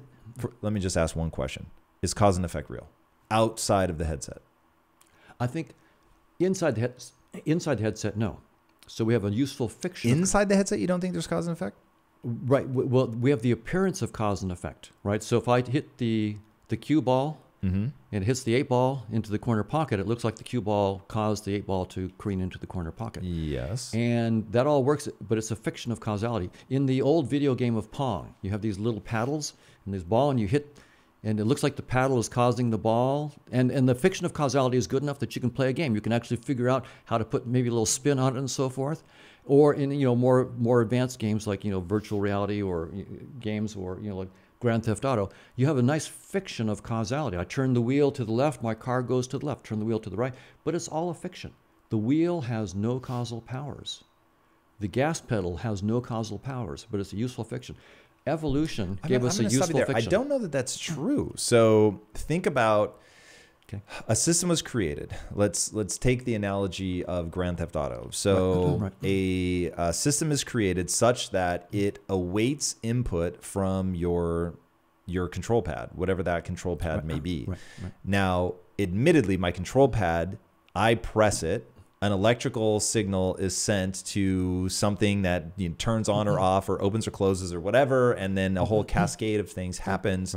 But it it is. I mean, you could even trace back the causality to I ate something that Mm-hmm. Gave me the ability to create ATP, which gave me the ability to generate electricity, which gave me the ability to fire a muscle, which gave me the ability to press a button, which triggered this electrical Mm-hmm. chain reaction that caused something to happen on the screen. But it it there is a chain of causality in the headset.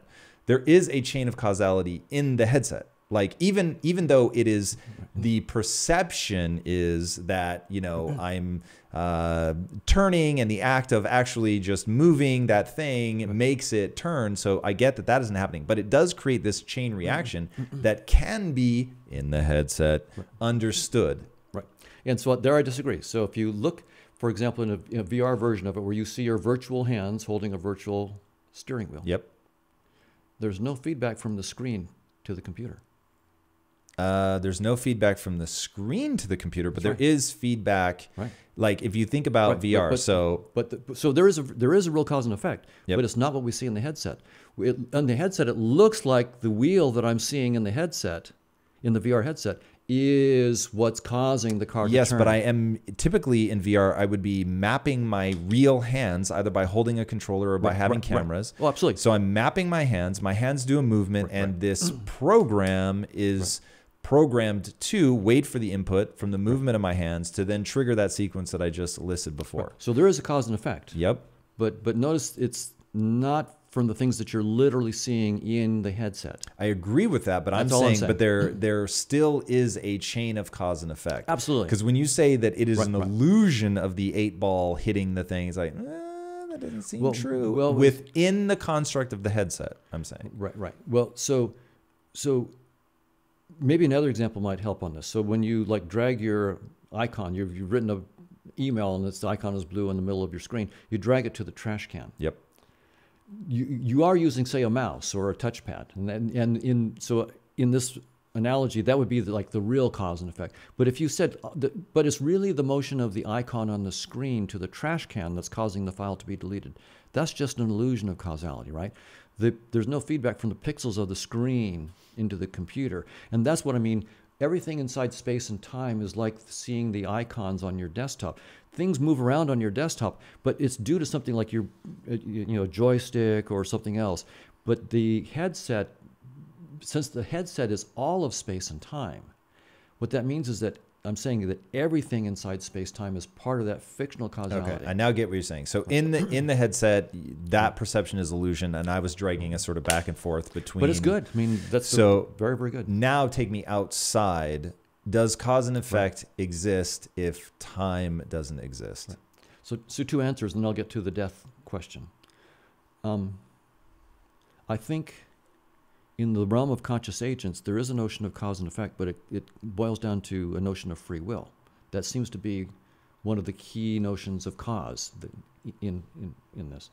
In quantum mechanics, by the way, I should point out that they, when you do quantum computations, normally in normal computations, there's a causal order. If you do this multiply and then an add, that order is important. If you do the hmm. add and then the multiply, you get a different answer, right? The order, the causal order. is- But it turns out in quantum mechanics, you can do a, you can get rid of causal order when you do your computation.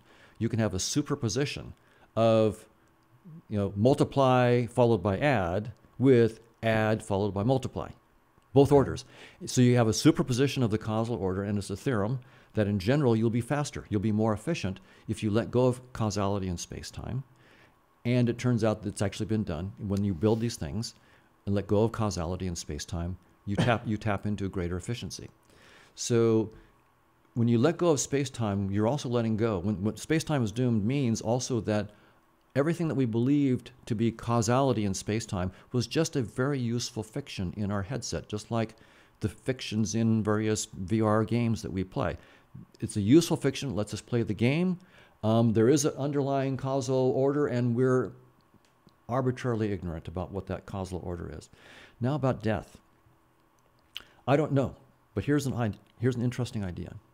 Suppose you go to a VR arcade with some friends to play virtual volleyball and you put on your headset and bodysuit and you're on a you know a like a beach volleyball scene palm trees and sand and a net.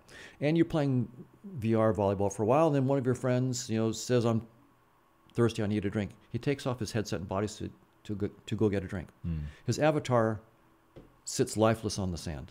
It collapses on the sand. It looks within the vr headset within the game as though he's dead. But he's his consciousness has not ceased. He's merely stepped out of that interface. All right, now we're in what I'll call the Phineas Gage problem. Okay. So once, so Phineas Gage, for those that don't know, it was a railroad worker, one of the most famous examples in neuroscience. He's hitting a tamping rod. It's like a three foot rod, thicker than your thumb, and it shoots up through his Right. jaw and out the top of his head, taking, if I remember right, Right. a teacup's worth of brain matter, which seems impossible, but never loses consciousness. But they say he's forever different. Right. Mm. Different. Right. And he used to be like super sweet and he was one of the best workers. And then he becomes this belligerent asshole and he can't hold a job. Right. So Right. I will say that's that is the so using this notion of mm-hmm. the headset or the umwelt, it's like once you alter the way that his brain works, and I'm fully willing to accept that th- this is a problem only inside of the headset. But once you alter mm-hmm. that function within the headset, he's fundamentally different. Now, if the headset is is what I'll call the umwelt. It's our interpretation of the stimuli. Once he goes, mm-hmm. takes the headset off, Right. the inter- now we're into transistors, diodes, electrical mm-hmm. gravity, or oh god, I may have tripped us up with gravity, but everything shy of that one. Mhm. Um, now you have he the experience of that person would be fundamentally different. I would be fundamentally different because I'm no longer experiencing things through the lens of my brain, essentially. Right. So while I, it would seem to me that there's no way around the fact that in the game, homie is dead, and so mm-hmm.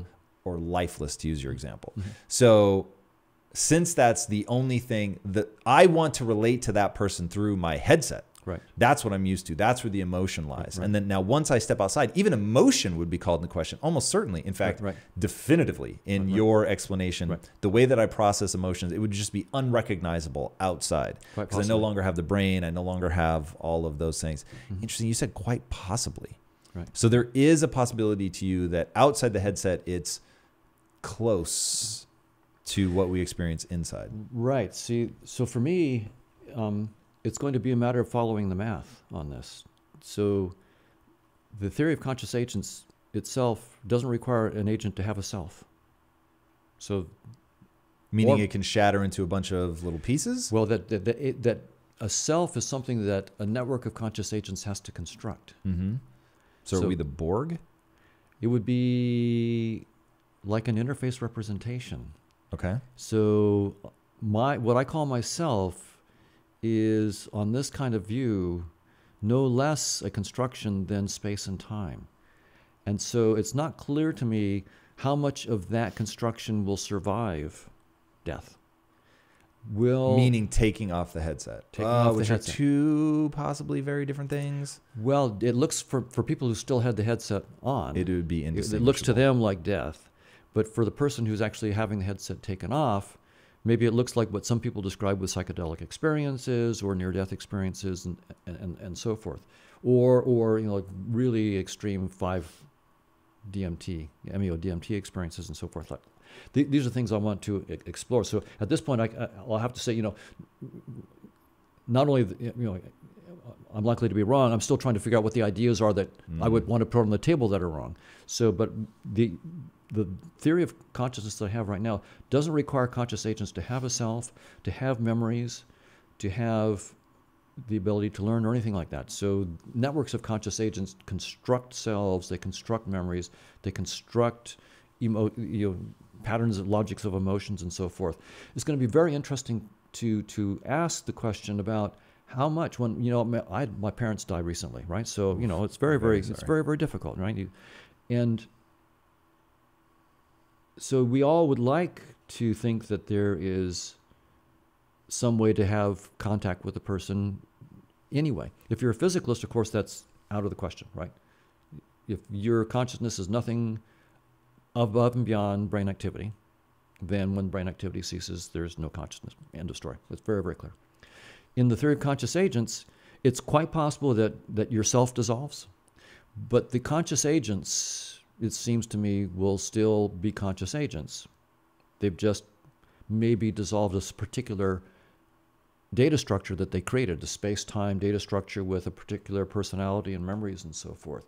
So basically, you're saying, uh, if I can just put different words around that to make sure that I understand, the the conscious agents coming together to form a person are a data structure. that well they form the person as a data structure so everything that i believe about me is very different than what i believed when i was 5 mm-hmm. and and i didn't believe anything when i was maybe one. And so i've over the years the decades of my life i've put together this story of uh, i'm a, myself this is sort of an idea that some of my physicalist colleagues have said like dan dennett a self is a story that we weave. It's a narrative that, that we give. Maybe there's something to that. Whereas where I wouldn't go with Dan on, you know, and he's a wonderful guy, he's he's brilliant, but you know, we we are it's okay to disagree. Right. He would say that you know, there's nothing but the brain activity and the narratives that it creates. And I'm saying, well, I like the idea of the narratives, but but the consciousness is the fundamental reality. I have to let go of physicalism because of evolution and natural selection. And so maybe consciousnesses won't keep the narratives. Maybe they will. I have some of my colleagues who are working with me who think, um, you know, that we will keep the narratives, that we will keep that sense of self. But my colleague who thinks that doesn't have any mathematics to support it. And so for, for me, on the one hand, of course, I'm really open to all the different ideas. But as a scientist, if I can't put it precisely in math, I don't know what I'm talking about yet. I mean, you, we, and that's what you find is, unless you can make it absolutely pre- precise, most of the time we think we know what we're talking about, and when we make it precise, we realize, oh, okay, no, I was maybe in the neighborhood, but I didn't really know what I was talking about. That's what mathematics really comes back and teaches you. And that's the thing about a really good scientific theory. Once you write it down, you become a student of your theory. Like, so Einstein, when he wrote down the equation of general relativity, hmm. he had the big idea falling in an elevator, you would feel weightless. Big, big idea if it was free fall in an elevator. And he took him eight years to take that idea and what he called the equivalence principle and turned it into the equation of general relativity. He wrote it down, took him eight years. Hard, hard work to take your intuition and go, oh no, my intuition. What is what do I really mean by that? It took him eight years. And he was Einstein. Mm. So, right, right. For the rest of us, I mean, if Einstein's ideas aren't that quite precise, it take him eight years to get it so precise that he knows exactly what he meant. Mm. That's what that's what I'm talking about. So he writes down the equation. A year later, a guy named Schwarzschild, who's in the front lines in World War One, is solving Einstein's equations on the front lines, and he, he he solves equations and he discovers black holes, and he writes back to Einstein and says, "As "Your theory says there are black holes." Einstein didn't know that. He didn't believe it. He spent decades dis- disbelieving it. His equations were right, Einstein was wrong. The equations become smarter than the genius mm. who wrote them down. And that's another reason why we do these mathematical models of science. We take our intuitions, it might take us a decade to take our intuitions and actually figure out what we really were thinking and get them so precise that we say, oh, that's the only logically consistent way of stating what I thought I was trying to think. And once you've put it down there, then all of a sudden you become a student. That thing that you've written down is going to teach you. And that's what I have with this theory of conscious agents. When I wrote it down, I had no idea about a number of things. I didn't know that agents could combine. It, it was a friend of mine who pointed that out to me. Agents can combine. And also that, that uh, a weird thing that it predicts is that our free choices are not part of our conscious experiences. You can't directly experience your own free choices. You can experience that you chose, but you can never actually experience yourself choosing. Why? It's, well, well it's, it's really quite interesting. You can experience like if, if, if I go, uh, you know, here's there's chocolate and vanilla. I'm going to choose between chocolate and vanilla. Well, I, I just chose chocolate. But how did I do that? Well, I, I had some deliberation process. But when I finally, it, it, I can all I can do is see myself reaching for the chocolate or the vanilla. I can see my cogitation processes, but but the but isn't that all in the headset?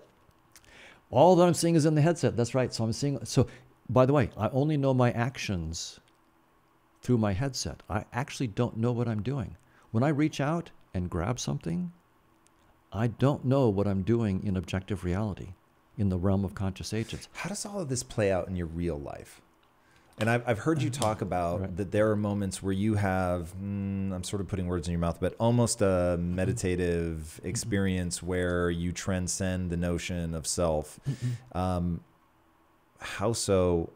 How do you stay so enthusiastic about this for so long when it seems like, I mean, really, really at a deep fucking level, man? As a human experience, this just all feels so real.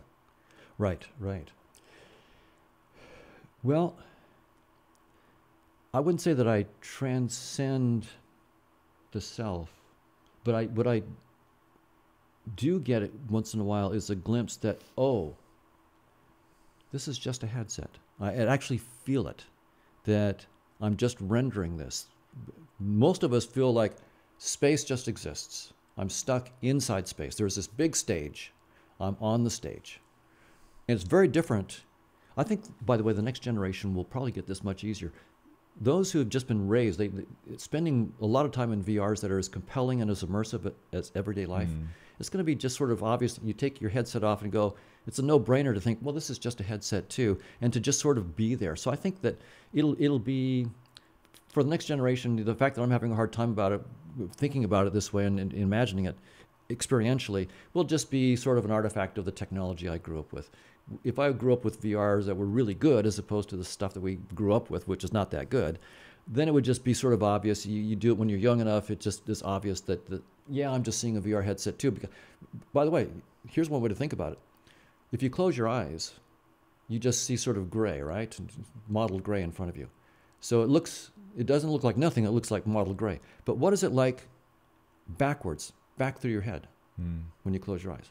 Well, it's not mottled gray. It's nothing. And it's really the first time you really, if you close your eyes and experience that, yeah, what is it like in front of me? Yeah, it's just gray, sort of mottled gray. What is it like behind me? Absolutely nothing. That's the headset. You only have a headset of space time in front. There is no headset behind. Now you have a not a visual headset. Now you have this. Set, I can put my hands back there and do stuff. So I, so I have this, uh, but it's all a creation. It's all. So I do get glimpses of that once in a while, but there were no. Now put on the natural selection language, right? So I have to pick the language of the science that I want to use, you know, because I don't have a better language in some sense for, for discussing this. Evolution, um, there were no selection pressures for us to see the truth. And so there were no selection pressures for us to not take space time as the truth. And so we do. Piaget tells us, you know, when we begin to take objects as real. As that we, you know, these aren't just like little data structures that you create; that they really exist all the time. He called it object permanence. And, and Piaget said that, you know, when a kid is about 17 months, 16 or 17 months of age, they don't have object permanence. Permanence. You take a little baby doll, put it in front of a child, they play with it. You put put it behind the pillow, If they're 16 months old, they It just doesn't it exist. doesn't exist. Piaget said. And then, but at 18 months, now they go and crawl around and try to get the Mm. object, the, the baby doll out of the behind the pillow. Later experiments showed maybe down to three or four months. But the point is, these experiments show that we're programmed. Now I'm using the evolution language. We're programmed by natural selection to buy into the illusion that objects exist even when they're not perceived, object permanence, when we're three or four months old. We're not rational. It's being done to us without our permission.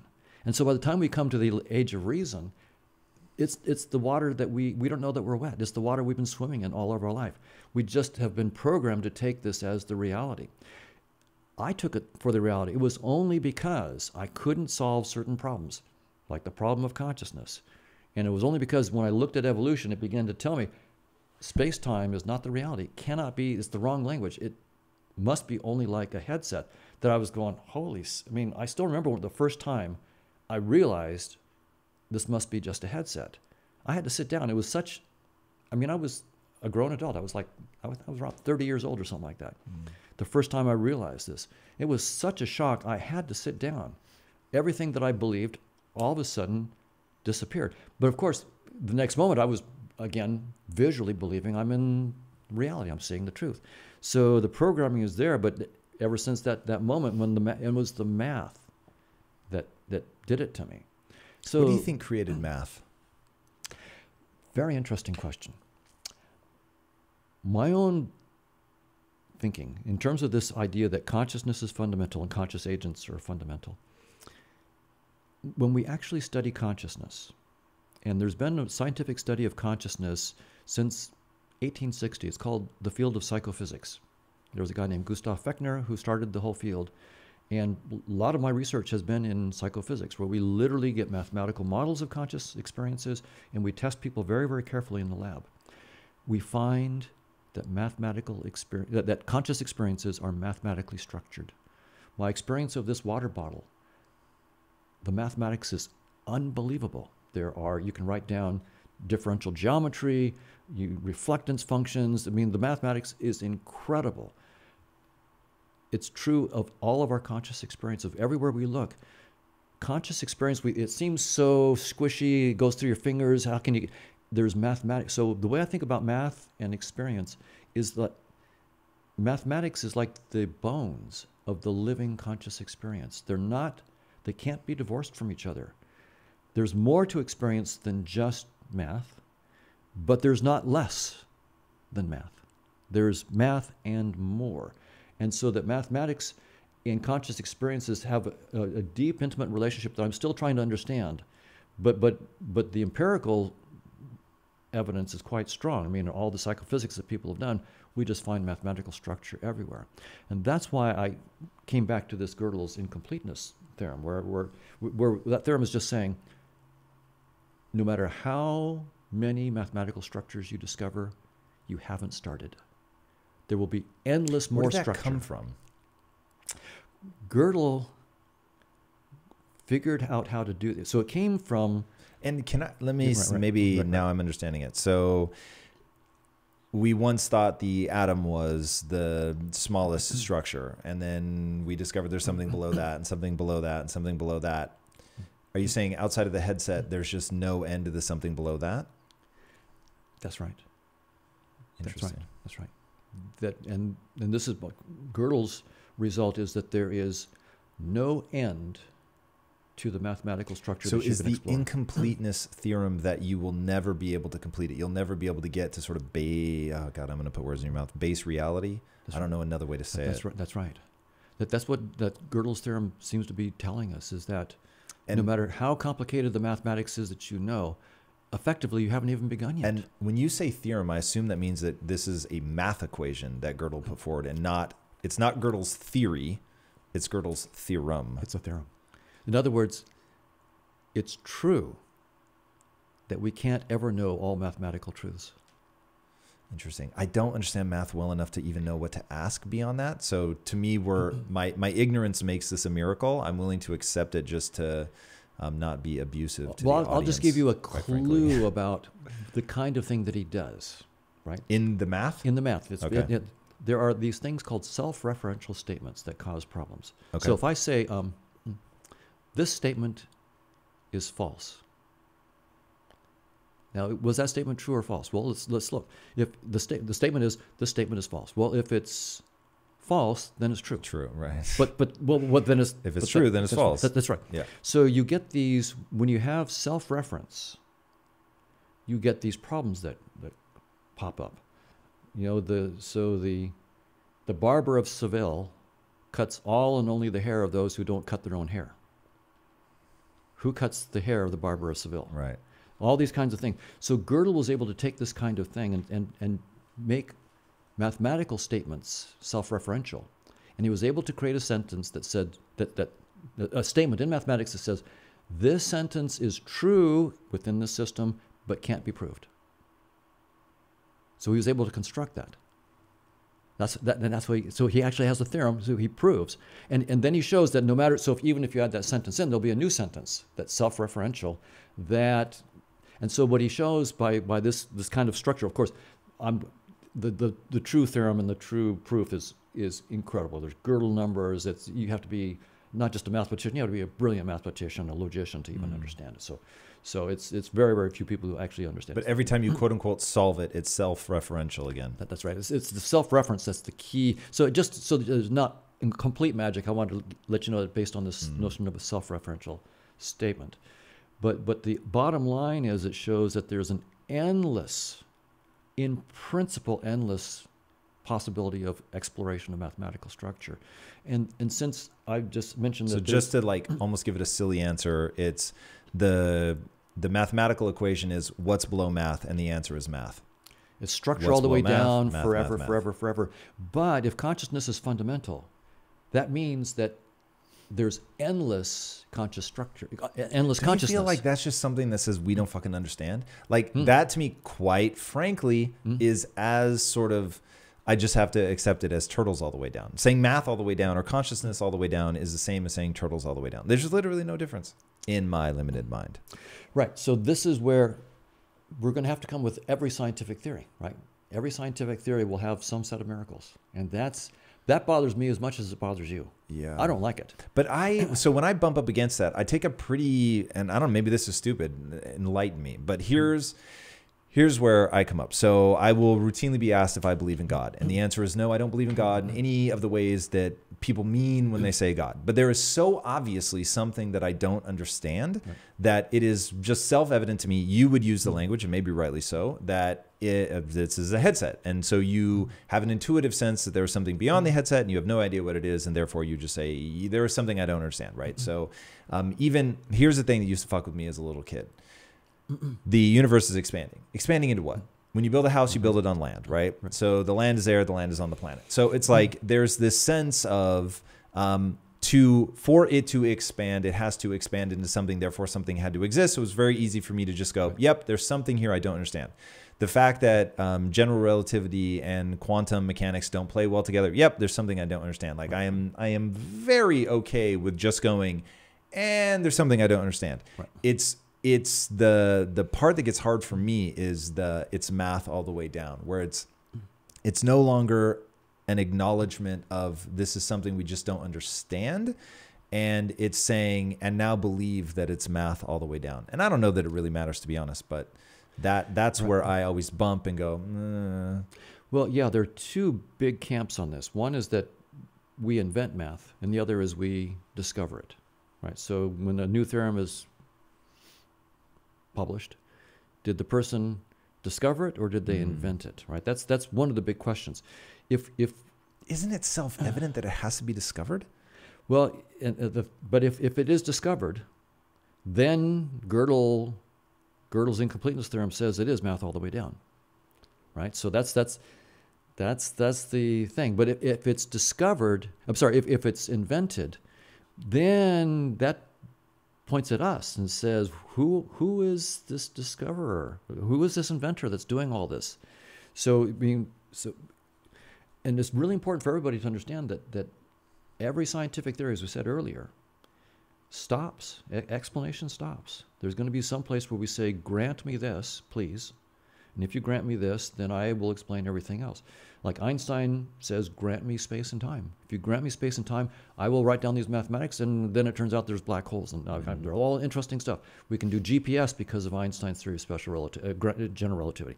It, it gives you all this, but we are granting space and time. Now, someone else, like there's a guy named Seth Lloyd, who says, okay, I'm not going to grant you space time. I'll start with quantum bits and quantum gates outside of space and time. It's just abstract quantum computational stuff. And I can show you how to boot up space time, general relativity, from quantum bits and quantum gates. The curvature of general relativistic space time has to do with the action of the gates and so forth. So he's no longer assuming space time, he's explaining it. But now he's asking for a different miracle. Please grant, grant me quantum bits and quantum gates. Hmm. Now you can imagine someone going, Well, now I'm going to do better than Seth Lloyd. I'm going to explain, I'm going to do something deeper than quantum bits and quantum gates. That's perhaps what, what Nima Arkani-Hamed is doing at, at, at you know, Princeton. Hmm. So maybe he'll get quantum mechanics emerging from something deeper. But he will then say, grant me what he's asking for is the amplituhedron and some other structures like that. So if you grant me this amplituhedron, I can give you space, time, and quantum mechanics and, and so forth. So so that's the nature of explanation. And I don't I'm still having to come to terms with that. I would like to have a theory of everything, and I can o- only have a theory of everything except these assumptions for my theory. Hmm. And those assumptions are my miracles. And so, at the foundation of every scientific theory, there's this moment of humility. Explanation stops here. It also stops one other remarkable place. Whenever in our theory we have a probability that can't be reduced by greater knowledge, right? So, in a Newtonian world, if I flip a coin, in principle, if I knew in detail the mass of the coin and its distribution and exactly how I flipped it, I could tell you heads or tails with hmm. probability one. But I don't know the initial conditions well enough, and so I have to give you a probability of a half. That's a subjective probability, epistemic probability. But suppose no matter there's a probability that no matter how much I know, the probability can't completely go away. Then that's no longer epistemic. There's something more interesting going on. This was the debate between Bohr and Einstein about quantum mechanics. There are probabilities that come up there. Einstein was saying those probabilities are just our lack of knowledge. Hmm. There's no God doesn't really play dice. There's no fundamental probability going on there. Bohr said, "No, no, no. You don't tell God what to do. These are not epistemic probabilities. These probabilities cannot be reduced. Period. They're probabilities for everyone, including God, metaphorical God." One thing I wanted to ask you that came to me when I was reading is the double slit experiment is one of the weirdest thing in physics for me. That it Right. really messes with me. So, um, for people not familiar with the double slit experiment, you take a single photon, you shoot it through a slit, and if you're not um, measuring it as it happens on the sort of back wall, you would see like a bullet mark, right? So you fire a single bullet, it goes through the slit, and it hits the wall. Um, if you uh, sorry, that's if you watch it. If you don't measure it, then it goes through like a wave and you get an interference pattern on the back. You can put another slit, and if you're watching it, it goes through one slit. If you're not watching it, then it goes through both slits like a wave. Uh, that always just seems so weird. Right. But if we, well, in fact, I'll, I'll ask Does your hypothesis about consciousness address the issue of the double slit experiment? Yes. So, so it will come out, I believe, that what those experiments are showing us is that if we assume that everything is happening in space and time, and that space time is the fundamental reality, then we're going to be confused. What we're seeing is space time is just a visualization tool we're using for things that are happening outside of space and time. And so they're not constrained to travel through space and time. Absolutely not constrained. We're constrained to see them as though they're traveling through space and time. And that's why quantum mechanics looks so weird. But, But- why does um, observing or not observing change its state? Because we're creating reality as we render it. It's That's the- what I was wondering. If this is Right. the look at the moon, not look at the moon. Exactly scenario. right. The moon does. The, the, in fact, Einstein asked one of his colleagues when they were walking. Said, "Do you really believe the moon doesn't exist, or only exists when someone looks? Doesn't exist otherwise?" he was talking about quantum mechanics, and my interpretation of quantum mechanics is exactly that that that space time itself doesn't exist when it's not observed, and therefore the particles inside, inside space time I don't never hear you talk about the double slit experiment. Doesn't that so it potentially? Let me ask: Is that potentially like a, a proof of your theory? well, uh, unfortunately, there are no proofs in science. there you every theory has lots of hypotheses and auxiliary facts and assumptions and so forth and if if your theory doesn't come out quite right you don't know what went wrong in it and also um, even if every experiment that you've done is compatible with your theory. Maybe you just haven't been smart enough to think of the experiment that will take it down. So so so no real serious scientist would say that any scientific theory has been proved Does it point in the right direction though? It's like Right. you you bring up a lot of examples, but that's not one. right Is there a reason? Is there a hole in that one already that you see, or because No. to me that that is some compelling shit. Right. Like, hey, you want to wonder or you want to know if the moon exists when you look at it, or if it's garbage bin. Uh, I keep forgetting your But language. garbage for that. collected garbage, Garbage collected. right When you look away, boom, double slit experiment. Well, so the double slit experiment is completely compatible with what I'm saying. The reason I don't take it as a proof is because there are some physicalists who have the multiverse or many worlds interpretations of many worlds interpretations. So Hugh Everett, um, for example. So what these guys will say is that um, to uh, really understand superposition and all these weird quantum things, you have to realize that whenever you make a measurement, whole new universes spin off, and all possible states that are allowed by the quantum state function, the wave function, um, are in are true in some some universe. And so many serious physicists believe in, in the many worlds interpretation and related but, but distinct thing of the multiverse, which is a, a, slightly, a different thing. They, they think it, uh, that there are multiverses. And so what, what, is, what is true is that local realism is false. So local realism is the claim that objects in spacetime, like say a proton, have definite values of their properties, like position, momentum, and spin. Definite values, um, even when they're not observed. And there's two parts. That's the first part. And that they have influences that propagate no faster than the speed of light. We have very, very good evidence to say if, if we know anything, we know that local realism is false. But that leaves open whether it's the, locality that's false, things, you could imagine things having pro- influences faster than the speed of light. So, a guy named Da- you know, David Bohm has a theory in which things have influences faster than the speed of light. Or whether it's realism that's false, that, which is what I'm claiming, that realism is false, that a particle doesn't have a position or a momentum or a spin when it's not observed because you create it as a headset element when you observe. Hmm. So that's so I, I say that we know that local realism is false. I'm, I claim that's the realism that's false, but there are some who can claim it's the locality. Right. But this false. is an example of you saying you have to have a theory that can be backwards compatible, essentially. that's right, right, right, right. Makes That's right. sense. I'm going to ask you a super random question because I'm so curious. You have a wedding ring, so I'm assuming you're Yes, married. So I'm assuming you Mhm. love somebody. Yes, Um, Right. That's that's such a headset experience. yes. How often are you sort of in sort of, hey, this really is real, and I'm going to treat it as such? And like, does your wife think this is all like? Does she find this decidedly unromantic?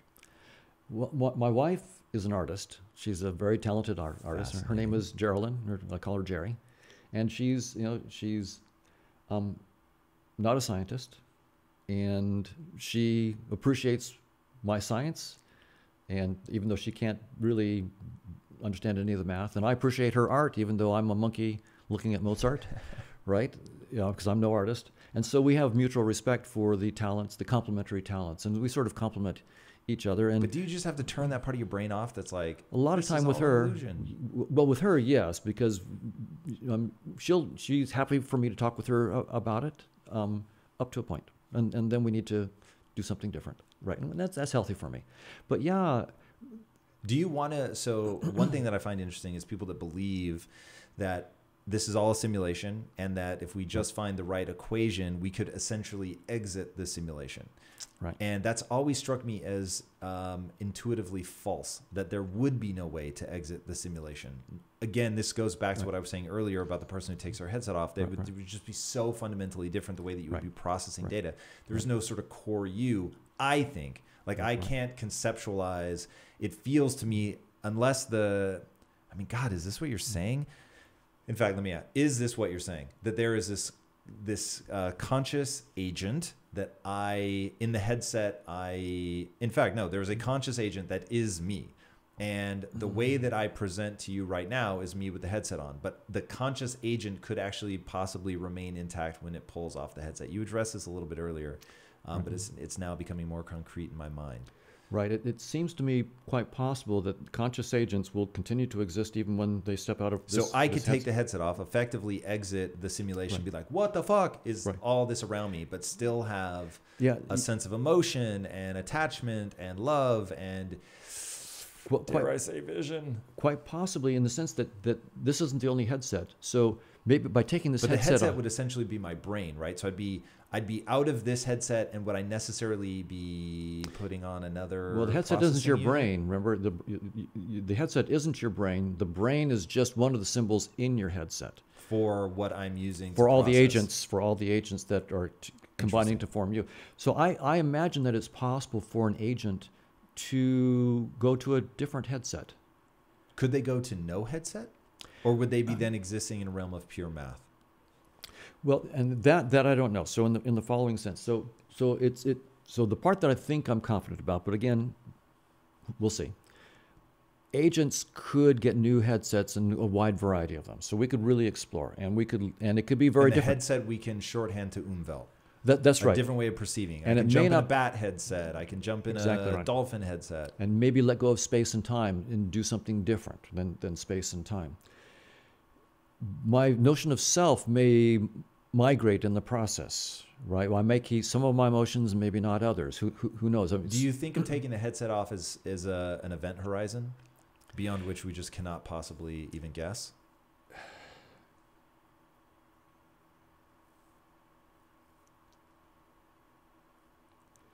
The, the mathematics that I've got says that a conscious agent always can have awareness without experience.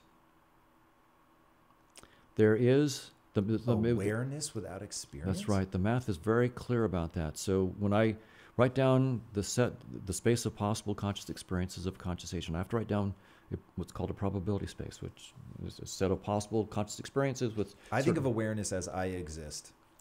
Yeah, no, it's no, but no I. There's just awareness without an I. So this would, so and uh, by the way, I, I make no claim to be, you know, expert in any like mystical spiritual traditions like Buddhism or Hinduism or so forth. Uh, but I've I've been told that they do have this notion. Um, and so I'm not speaking as an expert, but I've heard that they have this notion of awareness without content, and that certain meditators claim to to, to be there. And you know, I I meditate a little bit, and I might get little glimpses of of a notion of awareness without a self, without any particular content. That's the closest I can get conceptually to thinking about a conscious agent without a headset. It's a, a field of pure awareness, but it, it transcends then any emotion, any notion of self, it, any specific conscious experience.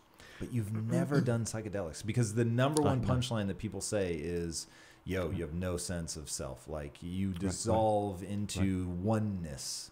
Right. Yeah. No, I, I, I, Why don't you? I haven't. Um, I may at some point, um, you know, where What- it's legal and so forth. so far? Well, what stopped me so far is, well, I'll, I'll put it this way: I've been reading the experiences of people, so I'm benefiting from their experiences, Mhm. and I talk with with people extensively, actually, some very very extensively about their experiences, and so I've I've studied them. Um, there is a price to pay. I um, But only in the headset. but only in the headset. well, well, and while I'm in the headset, see, I really, I'm so eager to pursue these ideas. I think I've gotten. I, I know people say, well, you, if you don't do it for yourself, you can't know what it's really like to be without a self. Well, but I can look at the math, and the math actually says, yeah, I'm, I'm seeing that in my math. So I've gotten the insight that I need there.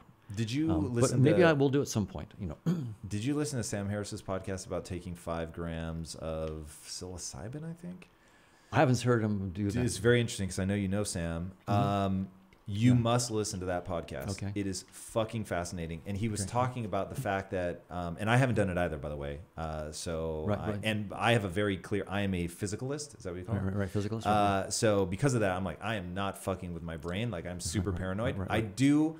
Part of me wants to do it. So if you cut my corpus callosum, one hemisphere wants to do psychedelics right, yeah. really badly, Right, right, and right. the other side is like, get the fuck out of here. Right, We're right, right. not doing psychedelics. This is a Right. very bad idea. Absolutely. So I- I'm I I'm sort of stuck in this like Right. go no go scenario. Anyway, Sam was Yeah, I agree. about. That's when I said there's a price to pay. That's exactly what I was. That's that's the. de- I am dialogue. super paranoid. Right, right. So Sam said in in the experience he had a moment where he he forgot that he did drugs. Like he had no sense of oh I have taken a drug to be in the state Right. and I'm simply in the state and I'm going to be in the state forever and this is what life is.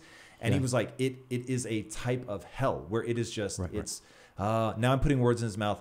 The feeling I got, and he may have actually said this, was that it was like a form of just never-ending terror. Right. And so you sort of pass through that, and he was like, there are other moments where it's it's never-ending bliss, and you're like, it's going to be blissful forever. Right. And it was just, ooh, the thought of where you have no concept, I have done something to myself, where I have taken a drug, and this is a consequence of that, and it will ultimately wear right, right. off.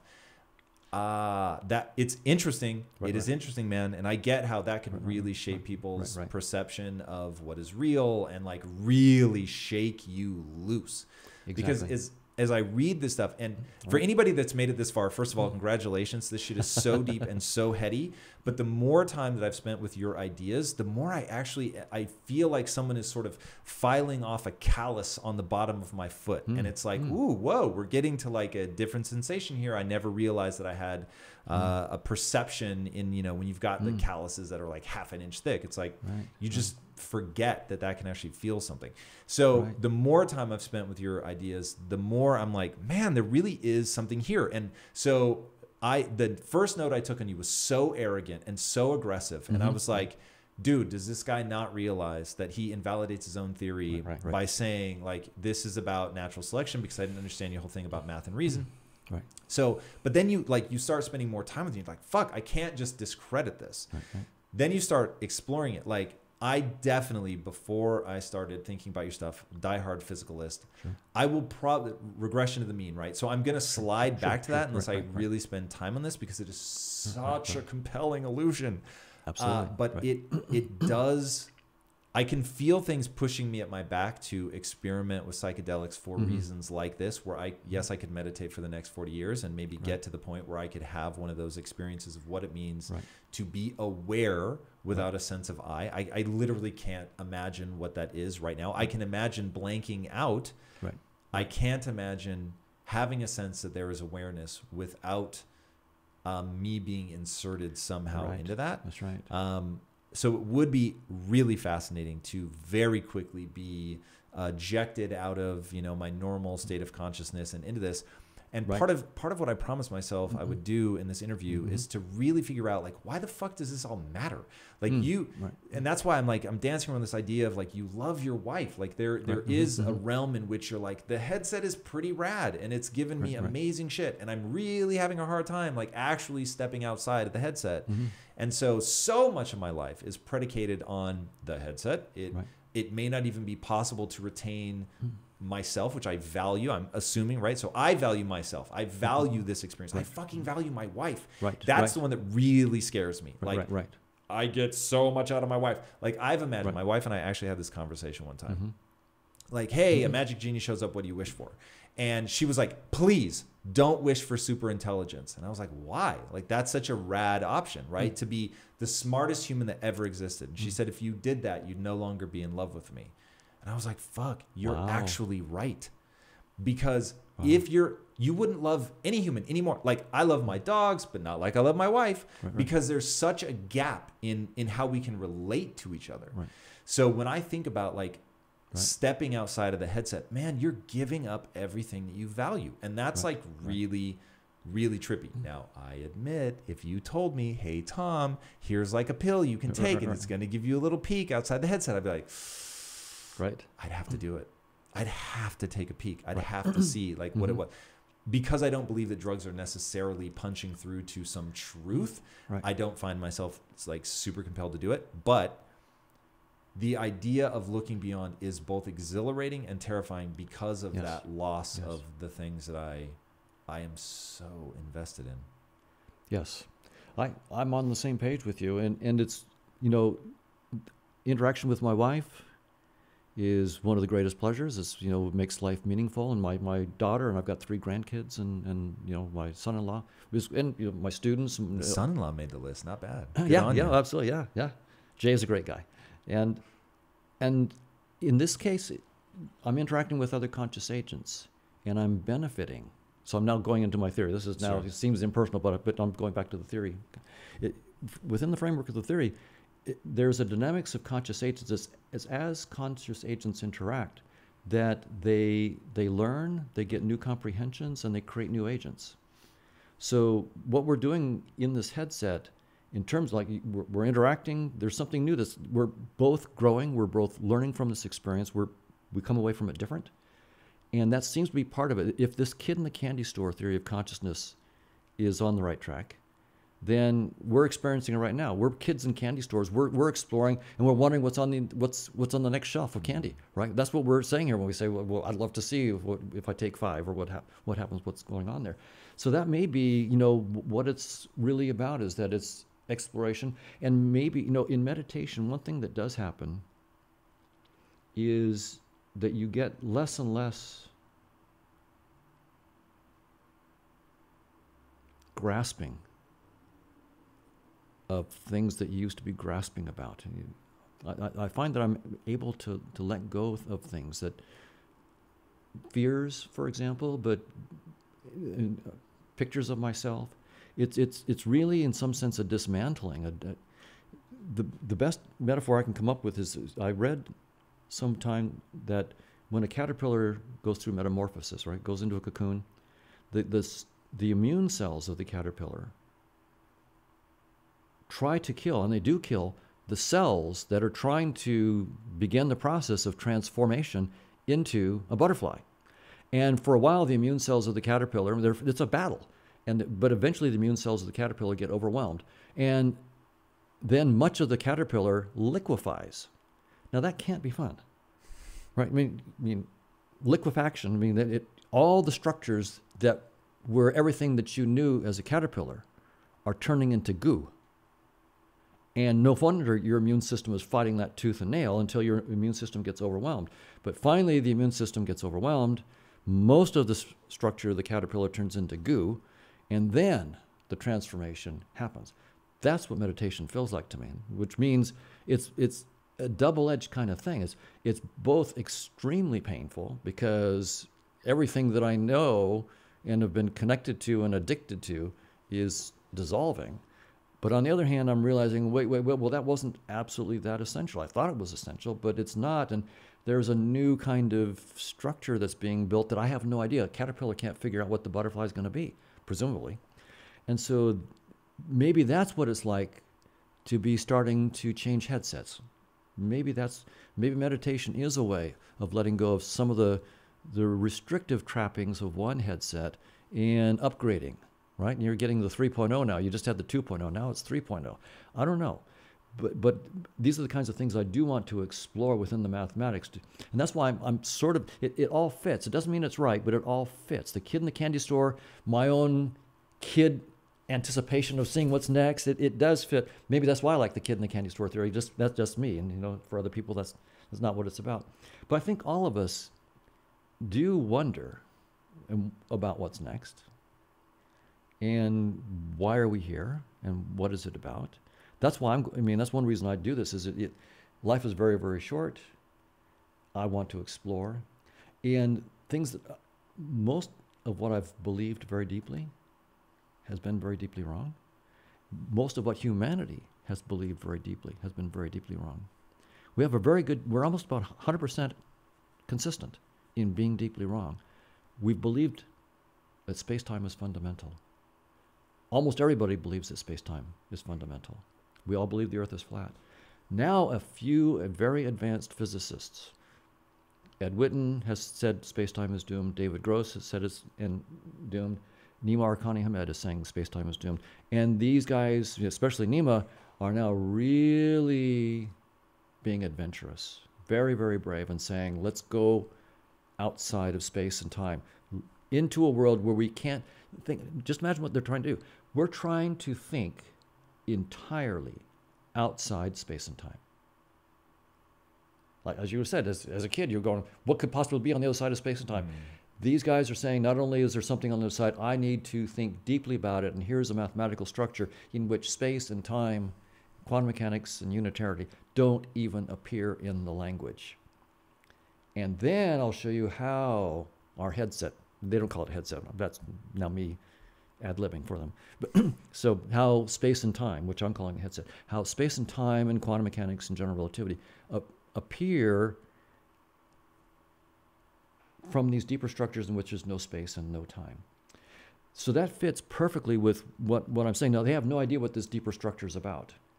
And what I'm up to is I'm actually, Nima gave a, a class at Harvard last fall.